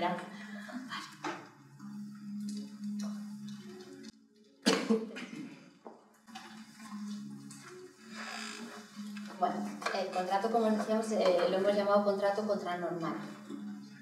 Y eh, como veis tiene formato de contrato, con numeritos, cláusulas, tal. La 1, voluntaria y corporalmente, yo, si tiene que poner su nombre, renuncio a mi condición asignada por la ciencia médica al nacer de hombre o de mujer, a todo privilegio social, económico, patrimonial y a toda obligación social, económica, reproductiva derivados de mi condición sexual en el marco del sistema heteronormativo naturalizado. 2. En relación a mi renuncia a esta condición de hombre o de mujer, me comprometo a cambiarme el nombre por uno que pertenezca al género normativo contrario. Me llamaré y me llamarán con el nombre de mujer que elija en caso de haber sido asignado como hombre al nacer y viceversa.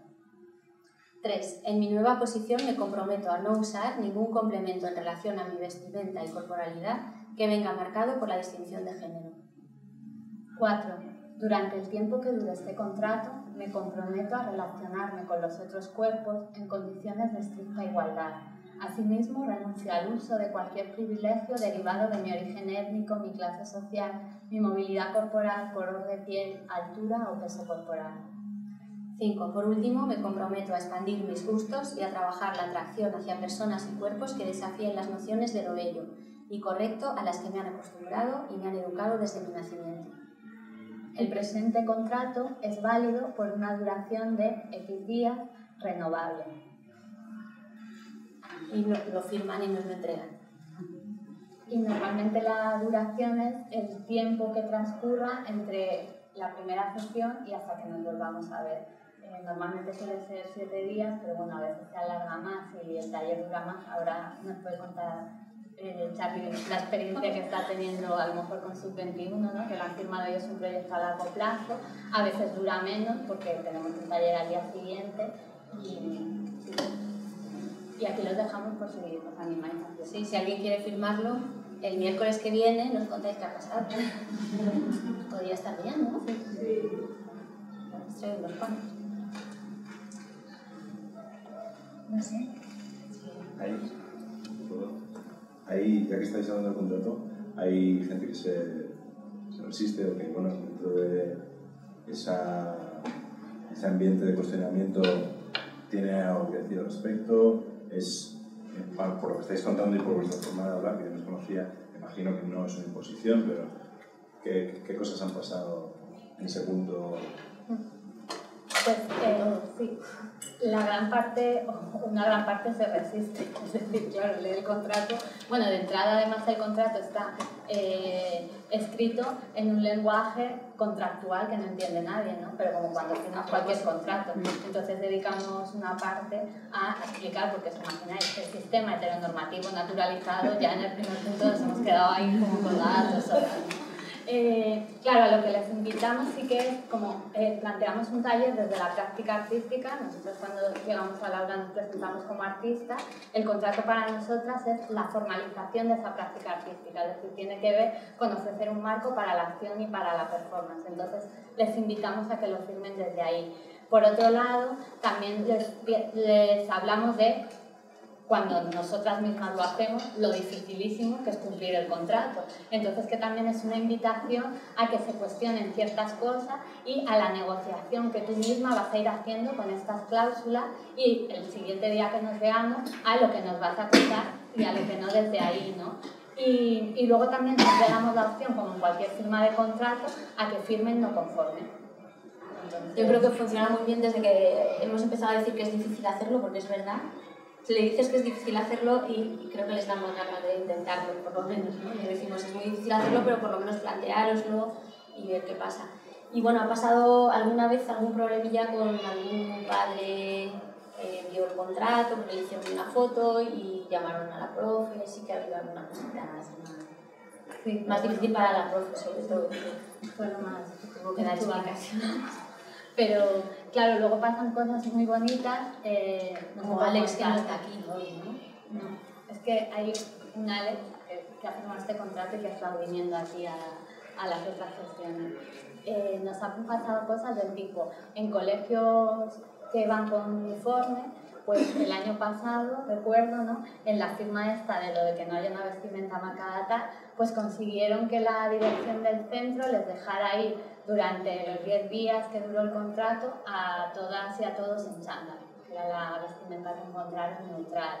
O eh, con lo de los cambios de nombres que hagan listados en el aula para que todos los profes y las profesoras les llamen por su, el nombre que adquieren con la firma del contrato, ¿no? Y cosas de este tipo. Pero sí, sí que hay resistencia y os imagináis, la resistencia al punto quinto es tremenda. Ninguno entiende el punto quinto, o eso nos dicen, pero es al que más se resisten, con lo cual sabemos que lo entienden perfectamente. ¿no? El de me comprometo a expandir mis gustos y a trabajar la atracción hacia personas. Esto es como en la línea lo del deseo, ¿no? que cuando siempre les decimos, quienes hayan deseado alguna vez a alguien de su mismo sexo, este lado. Entonces te empiezan a hacer un debate sobre qué significa desear. Y es como, vamos a ver, ¿qué crees? Pero es bonito porque creo que en eso también es, es esta cuestión del juego y de lo que te permites hacer ahí, ¿no? Para mí una de las frases más bonitas que me resuenan siempre en ese juego de la línea es cuando me empiezan a decir, eh, ¿vale cuando quieres mucho a un amigo? Y en realidad de lo que están hablando es de que probablemente han deseado alguna vez a su amigo, pero no, me lo, van, no lo van a decir así, ¿no? Entonces está también esta cosa de el querer mucho a un amigo implica deseo, no lo implica, aunque no se esté verbalizando así, pero está entrando en juego, ¿no? Y ese último punto yo creo que es uno de los que más ampolla levanta. También nos hemos dado cuenta, y es algo que nos preocupa bastante, que todavía no lo hemos comentado así con el equipo, que últimamente sí que notamos que cuando decimos este de que renuncias a todos los privilegios ¿no? derivados de tal, pues los, los privilegios que antes nos comentan son del tipo, eh, pues eh, como mujer tienes muchos privilegios. Por ejemplo, si vas a un bar y te invitan a las copas por ser chica, o que te abran la puerta es un privilegio. Es Lo digo por la privilegio que se acuerdan. Claro, o sea, Dentro de la palabra privilegio puedes elegir tantas cosas y ya nos ha pasado nos está pasando bastante, ¿no? Y, y es como fue en un sistema eh, tan asimétrico de poder, donde el género eh, juega un papel fundamental, que siempre los ejemplos que nos pongan sean de las mujeres como privilegiadas y nos está asustando también un poco, ¿no? De qué imaginario social hay con respecto a esto. De hecho, en uno de los últimos talleres que salimos bastante preocupada, el caso que se nos puso como ejemplo era en relación con la violencia, era que se acerca el 25N, ¿no? como en plan que las leyes de violencia eran un privilegio hacia las mujeres. Pero eso es. Pero eso son detonantes para conversaciones, ¿no? O sea, ahí empezáis a hablar. Sí, sí, claro. Y también supongo que, o sea, llegado a ese punto, igual dices, "No, pero ¿y qué privilegios hay para eh, los hombres? Tal, ¿no? Sí, y muchas veces, de hecho, nosotras eh, no, no hace falta ni que intervengamos porque en la propia clase esas, esas respuestas tienen, generan polémica. Es decir, en estas que os decimos de lo de los bares que sale siempre, ¿no? de las copas o lo de la puerta, son las propias chavalas y, y tal las que dicen eso no es un privilegio, es paternalismo, no sé qué. Es decir, que, que ya se genera una polémica en la clase que al final es lo que nos interesa. Eh, cuando no, pues sí que nosotras eh, cuestionamos eso, ¿no? Claro.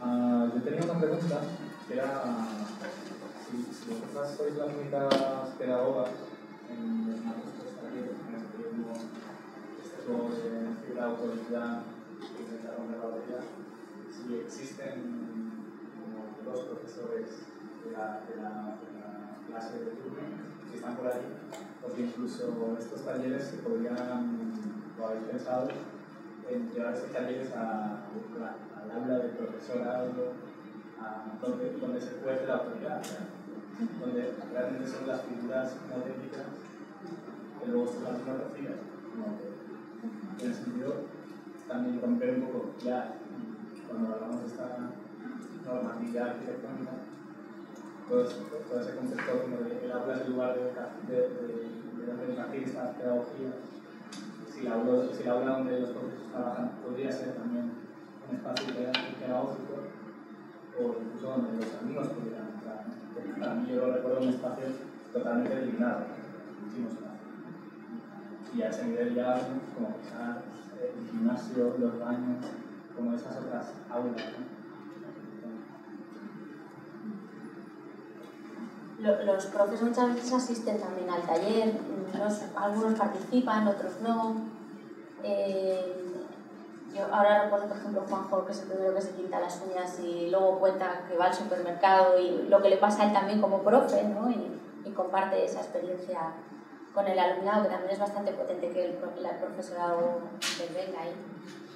Eh, Nos pasa un poco de todo, o sea que depende más o menos de la profesora y como de su implicación y de la relación también que tenga con el grupo. A veces eh, participan, ¿no? como decía Eva, incluso en la línea muchas veces se posicionan, es lo menos, ¿no? yo creo que con la línea es con lo que menos participan, pero también eh, a veces intervienen para nosotras demasiado, ¿no? porque al final, claro, ellos ya tienen establecido como una relación con el grupo que ya marca, ¿no? o, o incluso a veces nos da la vuelta a todo lo que estamos trabajando. Nos pasó hace poco que era como, por favor, que se calle porque llevamos como 10 minutos intentando cuestionar una cosa y en un momento, ¿no? Eh, la profa es como que se cae. con toda su buena intención, Sí, claro, pero- Eh, yo ahí, por ejemplo, o sea, sí que le estoy dando muchas vueltas, ¿no? En esto que os comentaba de mi, mi nuevo papel en lo educativo. Eh, hace poco yo trabajé con la línea,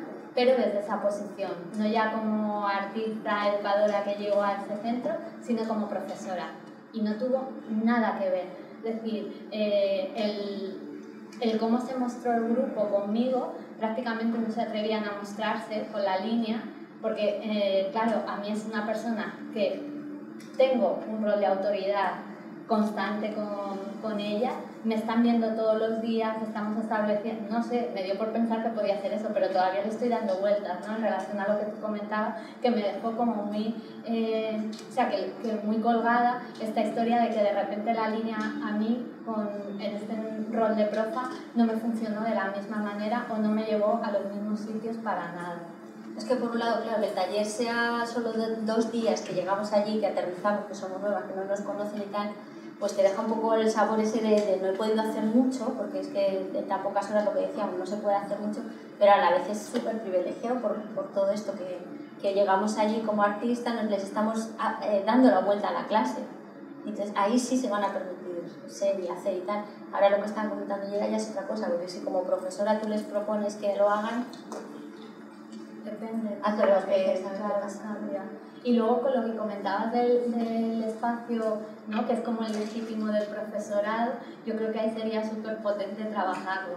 Eh, claro, necesitas como un profesorado y un centro que le apetezca mucho que lleguemos ahí a, a ese espacio o incluso, ¿no? que me parecía súper interesante de tu aportación, esta cuestión de la ruptura de barreras o que fuera algo en donde el grupo de alumnado trabaje con el grupo de profes y veamos que se puede romper desde ahí. Pero claro, están tan establecidos los roles que es que, bueno, aquí que no sois profas, dadnos vuestra opinión, ¿no? Que, que, no sé, que, que no sé cómo podemos eh, mover eso, ¿no? Como movilizar esos roles cuando tú tienes un trabajo a lo mejor de todo el año con ese grupo que ya está súper marcada para el grupo, que eres su profesora, ¿no? Y que si no sé quién está hablando mucho en el taller, le vas a decir, cállate por favor, porque, ¿no? Como que a veces te sale ya solo o cosas así. No sé nada. Sí, no, simplemente que, bueno, es la primera vez que he dado clase en la universidad, desde, desde octubre, y... ah, bueno, ¿está encendido? sí, Ah, pues no, no. Eh, bueno, pues es la primera vez que he dado clase en la universidad, en la autónoma, y es increíble, ¿no? Esto, tú que además, en mi caso, ¿no? Me presento como que soy el becario, como que soy el pringado y demás, que no quiero, eh, que ya te presentas intentando un poco eh, salir de ese rol y como que tienes otro rollo, ¿no? Pero aún así, eh, es como se mantiene esa relación eh, asimétrica, de tal manera que eh, yo, por ejemplo, les, eh, estaba tratando todo el rato en femenino, al hablar eh, en plural y al referirme, y, y yo luego he escuchado comentarios, pero a mí en ningún momento en la clase se, se me ha cuestionado, no se me ha cuestionado, y luego sí que he oído comentarios, ¿no? De, de- de gente pues, que los he pillado contando algo, ¿no? Pero es increíble cómo, cómo eso está, se hace tan presente y que para mí era una cosa que, que siempre había visto desde el otro lado. Sí, sí, sí. Nada más solo era eso.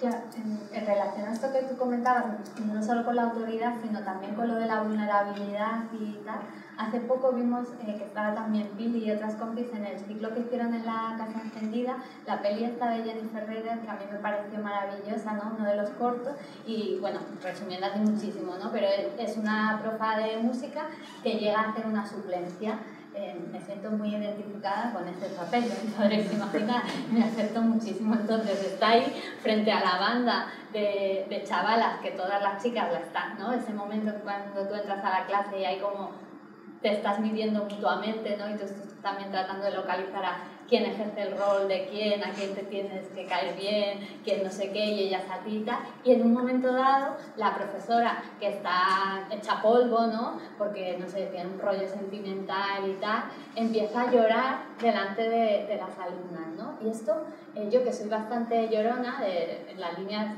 todo el rato estaría en llorar en público, pues claro, me lo he planteado alguna vez, digo, joder, si alguna vez me siento fatal y me da por llorar delante de, del grupo, ¿qué pasa? ¿no? Es decir, ¿cómo trabajas también con eso? Porque al final estás manejándote todo el rato como en, ese, en esa posición, no solo de autoridad, sino también como de fortaleza, ¿no? De que pues si alguien tiene que llorar ahí eh, y tú tienes que ayudar, a, eres, eres, el alumno o la alumna y tú le tienes que ayudar a que gestione la vulnerabilidad, a qué está pasando ahí, a qué tal, pero cómo trabajar, ¿no? ¿Cómo se da eso, ese intercambio y qué supone, ¿no? Y en la ruptura también de la relación que no deja de ser jerárquica que se establece ahí en el aula.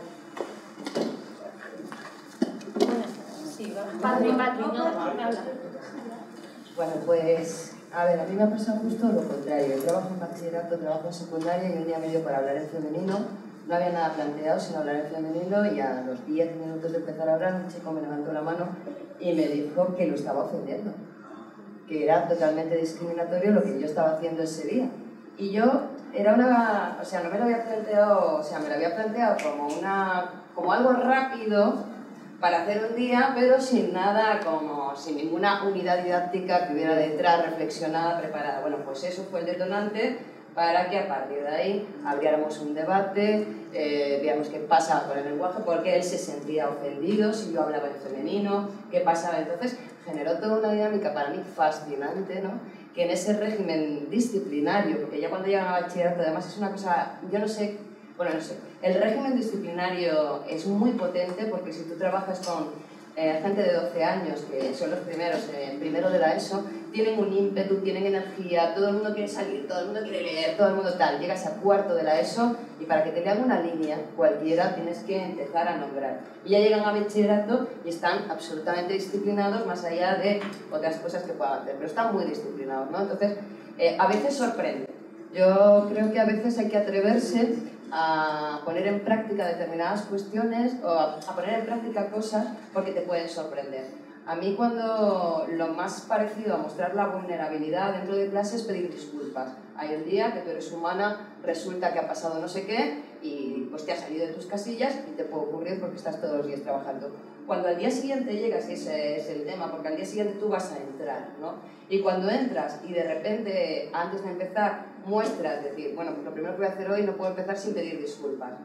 Eh, lo primero que he recibido es desconcierto se quedan absolutamente desconcertados y desconcertadas. Es decir, y ahí empiezas a trabajar desde otra posición.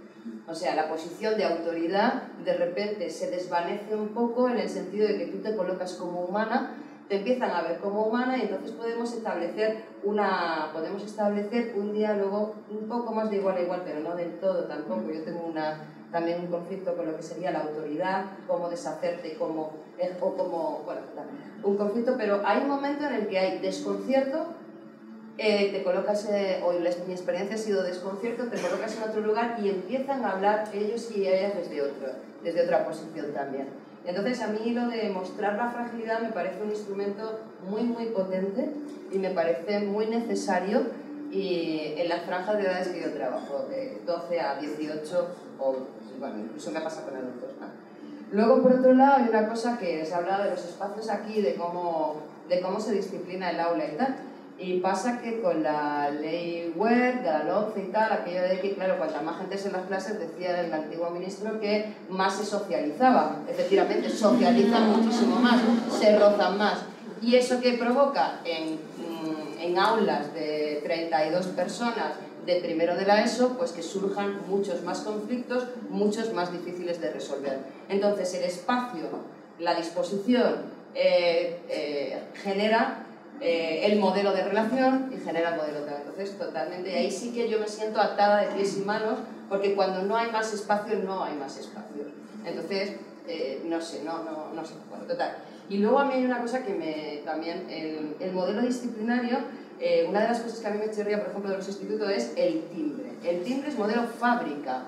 Fábrica que, una vez que suena el timbre, salen los flujos humanos totalmente controlados, por X puertas se entra, por X puertas se sale, y entonces ya están preparados y vienen siendo preparados y preparadas para lo siguiente, que es el modelo capitalista, absolutamente disciplinario y régimen fábrica total. ¿no? Y una de las cosas que, y todos los sistemas de control que existen, porque todos los espacios, o sea, los institutos no están diseñados de cualquier manera. El, el, quiero decir, la sala de profesores está en un lugar y profesoras está en un lugar determinado, eh, la jefatura de estudios está en un lugar determinado y tal. Y me sirvió mucho una vez el eh, ponerles, aparte de todo esto, es hay cámaras en los centros y hay cámaras en los pasillos. En las aulas no, pero ya hay muchos centros donde hay cámaras por los pasillos. Bueno, pues un día ponerles a buscar por el instituto todos los sistemas de control que había. Cuando de repente ellos visibilizaron que estaban absolutamente controlados y que estaban, eran, algunos llevaban allí el segundo bachillerato con la gente con la que estaba trabajando, eh, llevaban allí desde el primero de la ESO y resulta que nunca se habían dado cuenta de que estaban siendo grabados por cámaras de dónde estaba la, eh, la de tal, de dónde, de las cristaleras estas, cuánto pasaban los jefes de estudio por allí. Es decir, la visibilización de determinados eh, instrumentos de control ya les ponerse en cuestión determinadas cosas, ¿no? Y les como revelar. Y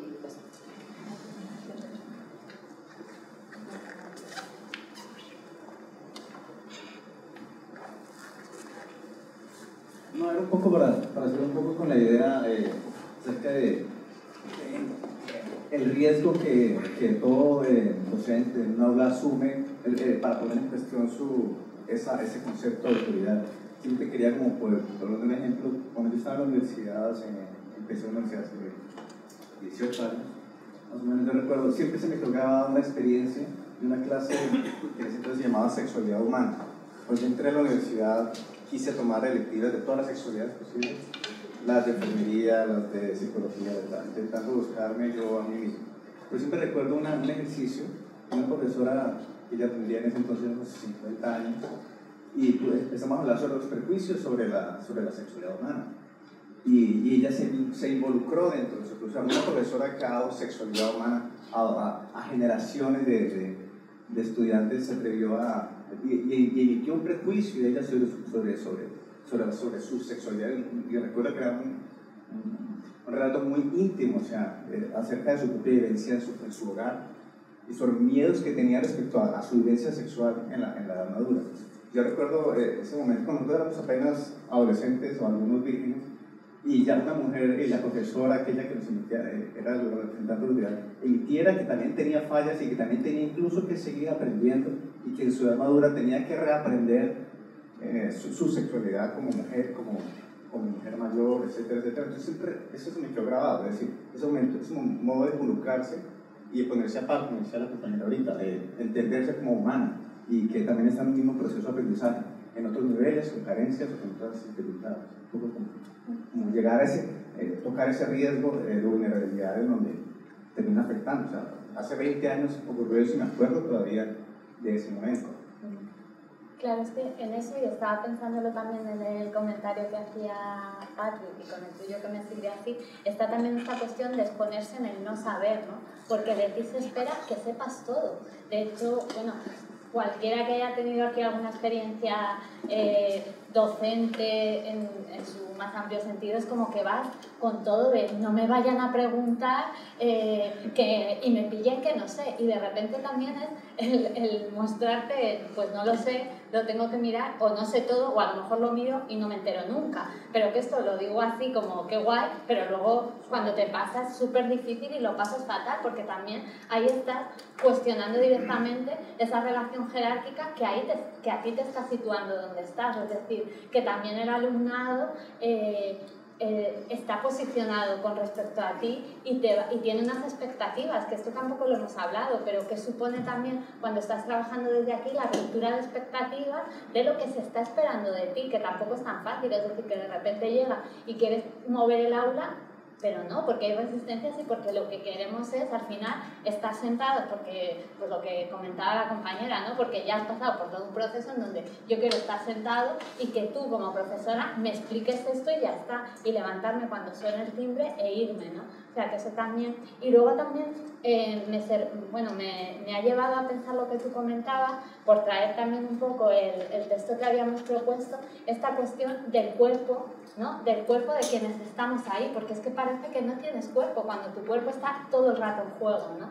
Eh, y cómo hacer también esto explícito o evidente. Es decir, que ahí también nosotras tuvimos muchísimo debate antes, al principio, cuando estábamos en la. Bueno, pertenecemos a las Lindes, que imagino que aquí muchas personas conoceréis y tal, y había como un debate también recurrente desde las pedagogías críticas y radicales con esto de la autoridad, y nosotras siempre también, eh, bueno, como que a veces en ese debate nos rechinaba que se daba por hecho que todo el mundo tiene la misma autoridad en el aula.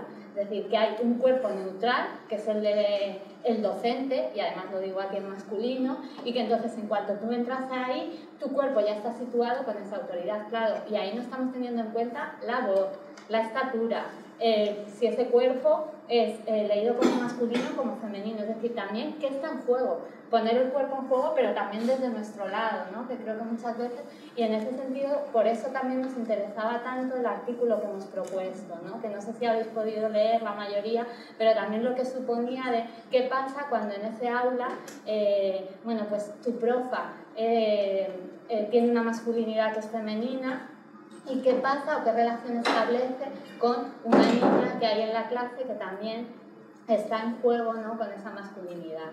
Y bueno, lo traía también un poco por si os apetecía también comentar algo desde ahí o... Bueno, que sepáis que yo estoy tomando nota de, eh, de, de, esta escuela queer, como tiene que ser. Tiene que ser que no haya timbre, que los profesores lloren, que haya más espacio en el aula, o sea que podemos seguir eh, aportando ideas. Pero a ver ¿Sí? Solo, mira, solo quería comentaros también, eh, bueno, el tema de la autoridad es apasionante y yo creo que bueno, debemos centrarnos un poco en él. Y quería comentar también eh, algo que surgió el otro día en el taller con Claudio Caceller, el sábado, pues hablábamos de, eh, por ejemplo, cuando hicieron la obra Ellas en el Matadero, que tuvieron que sacar a, a, a presas, entonces, ¿cómo es el trato también en, los sistemas disciplinarios? No nos olvidemos que a veces nos olvidamos vamos de profe guay y tal, y yo a veces me pregunto, ¿no? estamos en una posición en la que eh, a lo mejor no puedo ponerme de una manera de profe guay o de ir de amigo, ¿no? Porque el, este sistema, eh, o sea, yo tengo que saber las implicaciones que tiene este sistema. O sea, no puedo ser tan inocente de decir, de tratar a, a, a unos alumnos como si fuesen amigos o tal, porque planteábamos todo eso eh, con, las, mm, o sea, con las chicas que, que, estaban presas, cómo eh, les trataban las, la, a veces la, las funcionarias eh, casi pues como infantilizándolas y diciendo, ay pues mm, venga guapa, bonita, y me cuentas esto y me No, o sea, no vamos a ser tan inocentes de perder esa... O sea, eh, en el sistema escolar, pues en cierta manera mm, eh, tenemos sus calificaciones en, nuestras manos. Y ahí está esa diferencia. Y está la diferencia cuando llegamos como a hacer un taller como artista a ser el profesor de, de, de todas. Y cada vez más, efectivamente, porque y cada vez más se se encarna en, los cuerpos, porque cada vez le estamos diciendo ya no solo su calificación, que es su futuro. O sea, su nota, su número, va a ser su futuro y va a ser su vida. O sea, que cada vez es más, va a ser un sistema mucho más eh, disciplinario si, si, esto no lo empezamos a atajar y no empezamos a cambiar eh, todo, este, todo este que trae consigo la LONCE.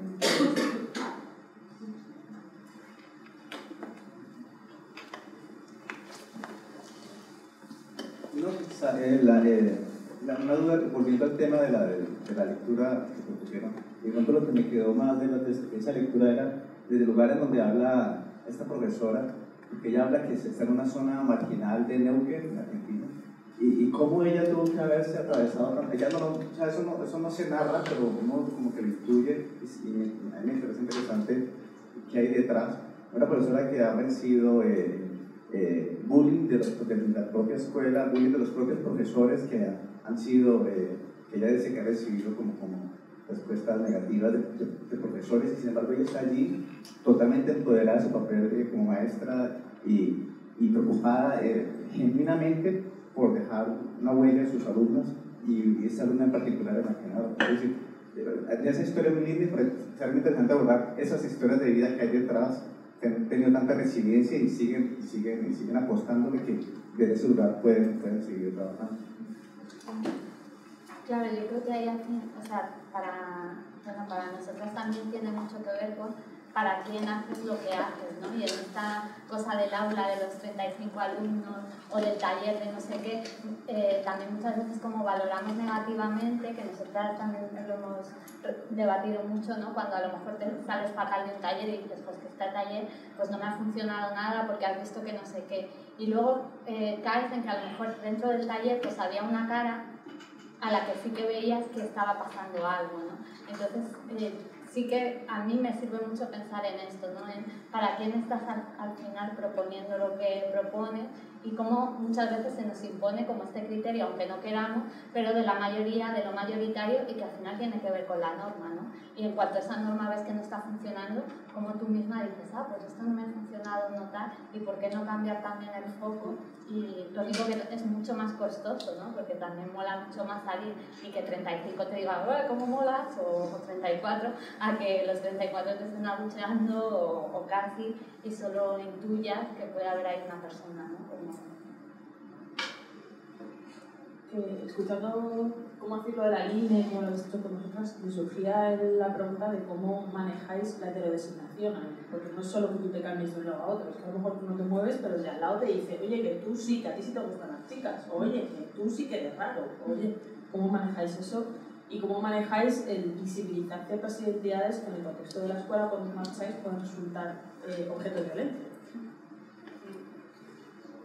eh, en, en la resignación así de, no ha surgido mucho, ¿no? Esta de decir tú sí que te... Lo de raro sí, lo de- pero cuando hablamos más de opción sexual y tal, no, A veces no ha pasado, ha pasado alguna vez, pero claro, nosotras luego en el debate lo recuperamos y nos, nos sirve bastante justo para abordar todo lo de lo raro, ¿no? Y como al final lo raro y lo normal siempre es algo que se construye en referencia a otro. Porque bueno, otra de las prácticas que luego les pedimos es, eh, vamos a compartir la última vez que te has sentido rara.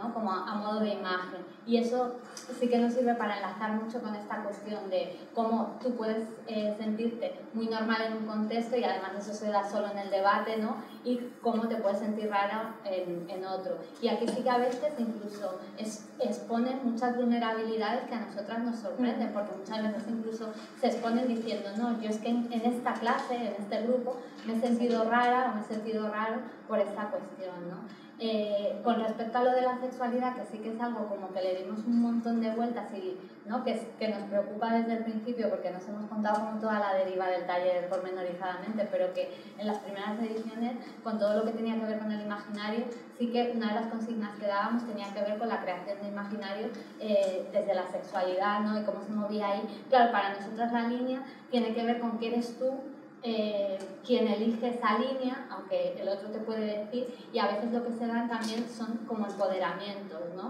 O sea, que la persona que decide moverse hacia ese lado, claro, también tiene un empoderamiento en la clase, en, en ese contexto en particular, que por eso se está permitiendo eh, ponerse desde ahí. Eh, otra cosa, además, que nos da mucho que pensar es como la movilidad, ¿no? Las mujeres muchas veces se permiten mucho más la movilidad en la línea, ya sabéis, esto es de eh, 1 de feminismo, pero que no deja de sorprendernos, y la masculinidad pues siempre es, pues sigue como mucho más cerrada, no sé qué, no sé cuántos, y, y, y son muchos menos los chicos ¿no? que juegan con, el- con esos tránsitos normalmente. Pero es verdad que no, no, no, no se ha dado mucho esto de la típica que puedes pensar que se va a dar, ¿no? El típico agarrón y decirte, pero tú tienes que estar ahí. Así, no. Yo creo que es más, no es muy violento en ese sentido, no ha pasado. Sí que se ha dado más cuando eh, ya están poniendo el cuerpo en juego de otra forma, es decir, con todo esto que tiene que ver de lo que comentaban desde al principio, de que los dos chicos se abracen Ya o no de que en la foto, pues de repente eh, uno de los chavales pues eh, esté ocupando una posición muy fem, entonces ahí sí que empieza a veces como el, el diálogo, la interpelación muchas veces del grupo, ¿no? De la broma de, anda, mira, pues eres tal o eres cual, o... y eso pues lo trabajamos según va surgiendo, porque lo que decíamos, lo que tampoco nos interesa es como eh, ser muy dirigistas nosotras y llevarlos como a un discurso de lo políticamente correcto, porque ellos, porque nosotras estemos delante nos digan, sí, vale, pues no te insulto o no digo esto, ¿no? Sino ver cómo lo podemos trabajar desde, desde ahí.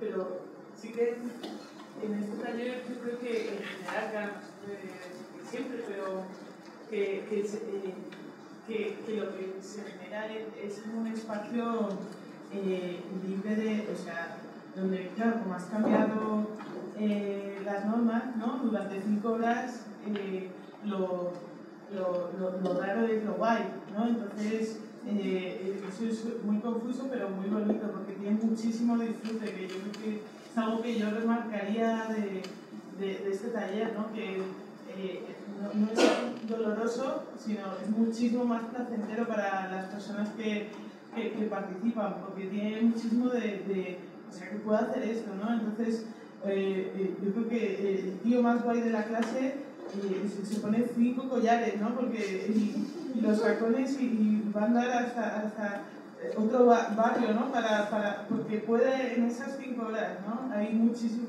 o sea que sí que hay momentos más tensos, pero, pero hay ese disfrute de, de cuando, hay una libertad de verdad y, no te va a juzgar el otro. Sí, quizá ha habido alguna vez eh, un poco de preocupación con las fotos, ¿no? ¿Qué vais a hacer luego con esto? No, claro, porque os la pasa muy bien viéndolas, pero luego, ¿qué, qué vais a hacer? ¿No? ¿Se borran tal? Por ahí, ¿no? Que se quede marcado un poco sí que les preocupa más, pero es verdad que se entregan antes de...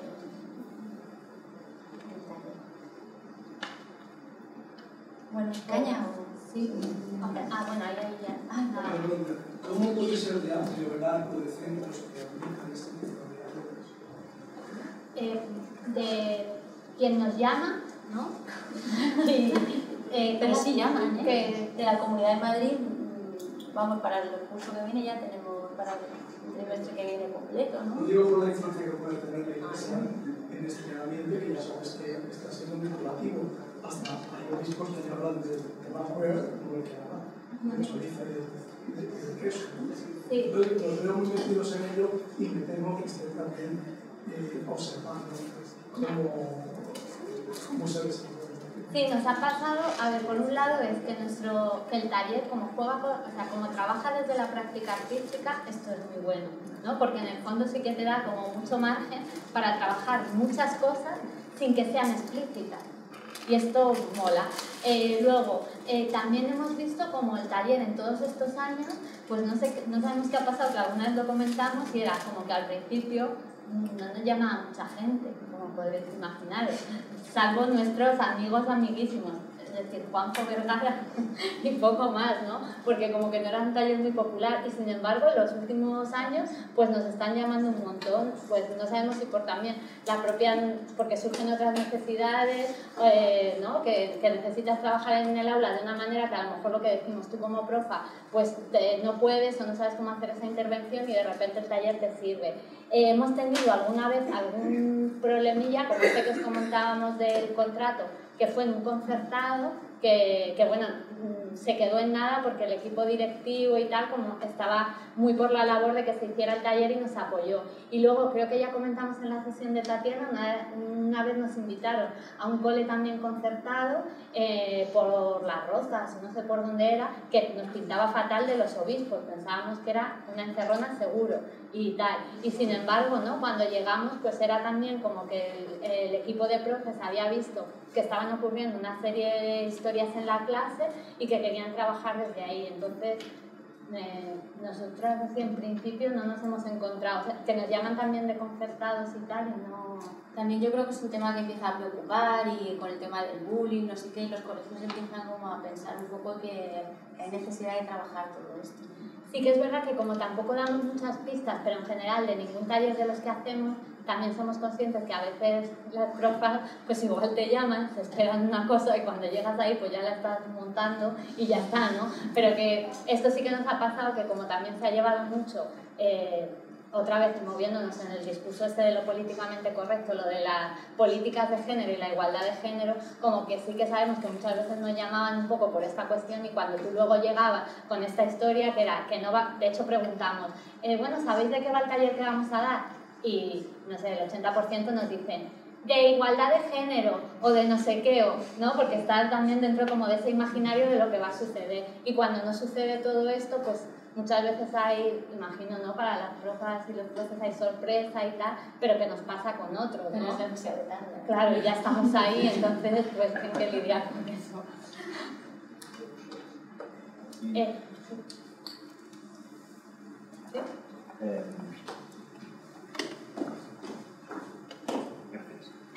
y bueno, en realidad, me parece que estaba dentro de tu pregunta antes, pero me parece que no lo habéis contestado, o me la invento yo. Eh, ¿Lo habéis hecho o habéis pensado, os interesaría hacer esto como formación al profesorado? Eh, no sé si está en pregunta, pero tengo curiosidad. Eh, nosotros, por ejemplo, sí que hemos hecho alguna vez alguna práctica. Aquí, por ejemplo, está eh, Mariajo, que pertenece a, a Interarte, que es un colectivo que son de profes y tal, de profas, y sí que hemos trabajado desde ahí, pero claro, de una manera que ya es un colectivo que está como súper implicado, que tienen un bagaje impresionante y que vienen a, ¿no? vinculados, muy vinculado al K2M y tal. Ahora justo sí que nos habían ofrecido el dar una formación para profesorado más específica desde el trabajo que nosotras hacemos y nos apetecía un montón, solo que por tiempo, pues de momento no, no lo hemos podido hacer, pero yo creo, o sea, sí que es algo que nos apetecería bastante trabajar. Con todo también la dificultad que implica eso, que luego es que, bueno, ya sabéis, ¿no? que es muy difícil lo de la formación al profesorado por, por lo de las horas que se te tienen que quedar de más, porque al final te viene al curso muchas veces gente que ya está interesada y que ya está trabajando muchas cosas, que también mola, pero que al, al final no llegas a lo mejor al profe más casposillo del lugar o, ¿no? o al que es como más... ¿Qué más falta? No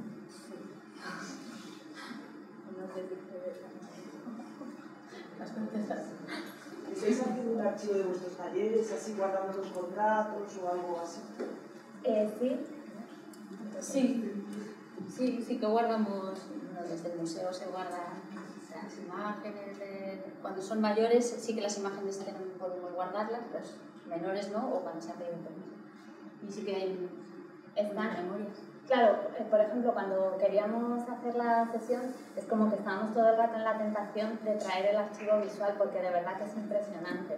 Es que es fascinante eh, la reapropiación que hay ahí de imaginarios además que son como, eh, crean auténticas escenas cinematográficas y desde ahí desplazan muchísimas cosas. Y nos ha costado un montón no traerlo, bueno, pues por esta cuestión que os decíamos, que sí que como el, eh, el taller es un espacio para que se sientan libres a la hora de, de crear desde ahí, pues no podíamos hacerlo aparte porque son menores, pero el archivo visual está.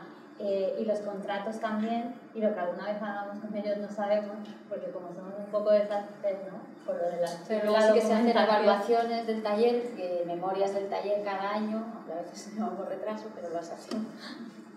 Y También un apunte, y Yera, no sé si te acuerdas, para, eh, una vez que hicimos, eh, que hicimos el año pasado un taller con comisarios y artistas que tuvieron muchísimas resistencias, ¿no? O sea, ¡Oh! Eso fue No, impresionante. Simplemente para que, es que siempre, siempre trabajamos como, eh, como somos mayores, ¿no? Y siempre los chavales actúan así, ¿no? Sí, sí. Y, y ya eh, el año pasado tuvimos, y bueno, unas reticencias a la hora de pintarse las uñas todas, quitándoselas, ¿no? Pa- Antes de salir a, a la vida real, ¿no? Simplemente como de que nunca, o sea, que con profes, o sea, saldría lo mismo y con nosotros y todo, todo. A que no sea Sí, sí, sí. solo ese Me he acordado antes con algo que ha pasado con la línea de eso, porque es que ese, ese taller, eh, que además era en, sea, era con un público que no era español y tal, y estaba toda la cuestión también del idioma, ¿no? Y todo esto. Y el que Vito y yo veíamos, nos estaban poniendo verdes, ¿sabes? En plan de que cómo posicionábamos así al alumnado, que por qué lo raro. Bueno, de esto que te están directa, y cuando ellos, claro, no se estaban posicionando para nada en la línea, ¿no? También tenían un discurso como de la Europa del Norte, yo creo también de muy, muy buenista, ¿no? De, de muchas cosas que a nosotras no nos encajaban, pero es verdad que nos, lo, nos pusieron verde prácticamente. y era gente de eso, comisarias que trabajaban en proyectos educativos y tal.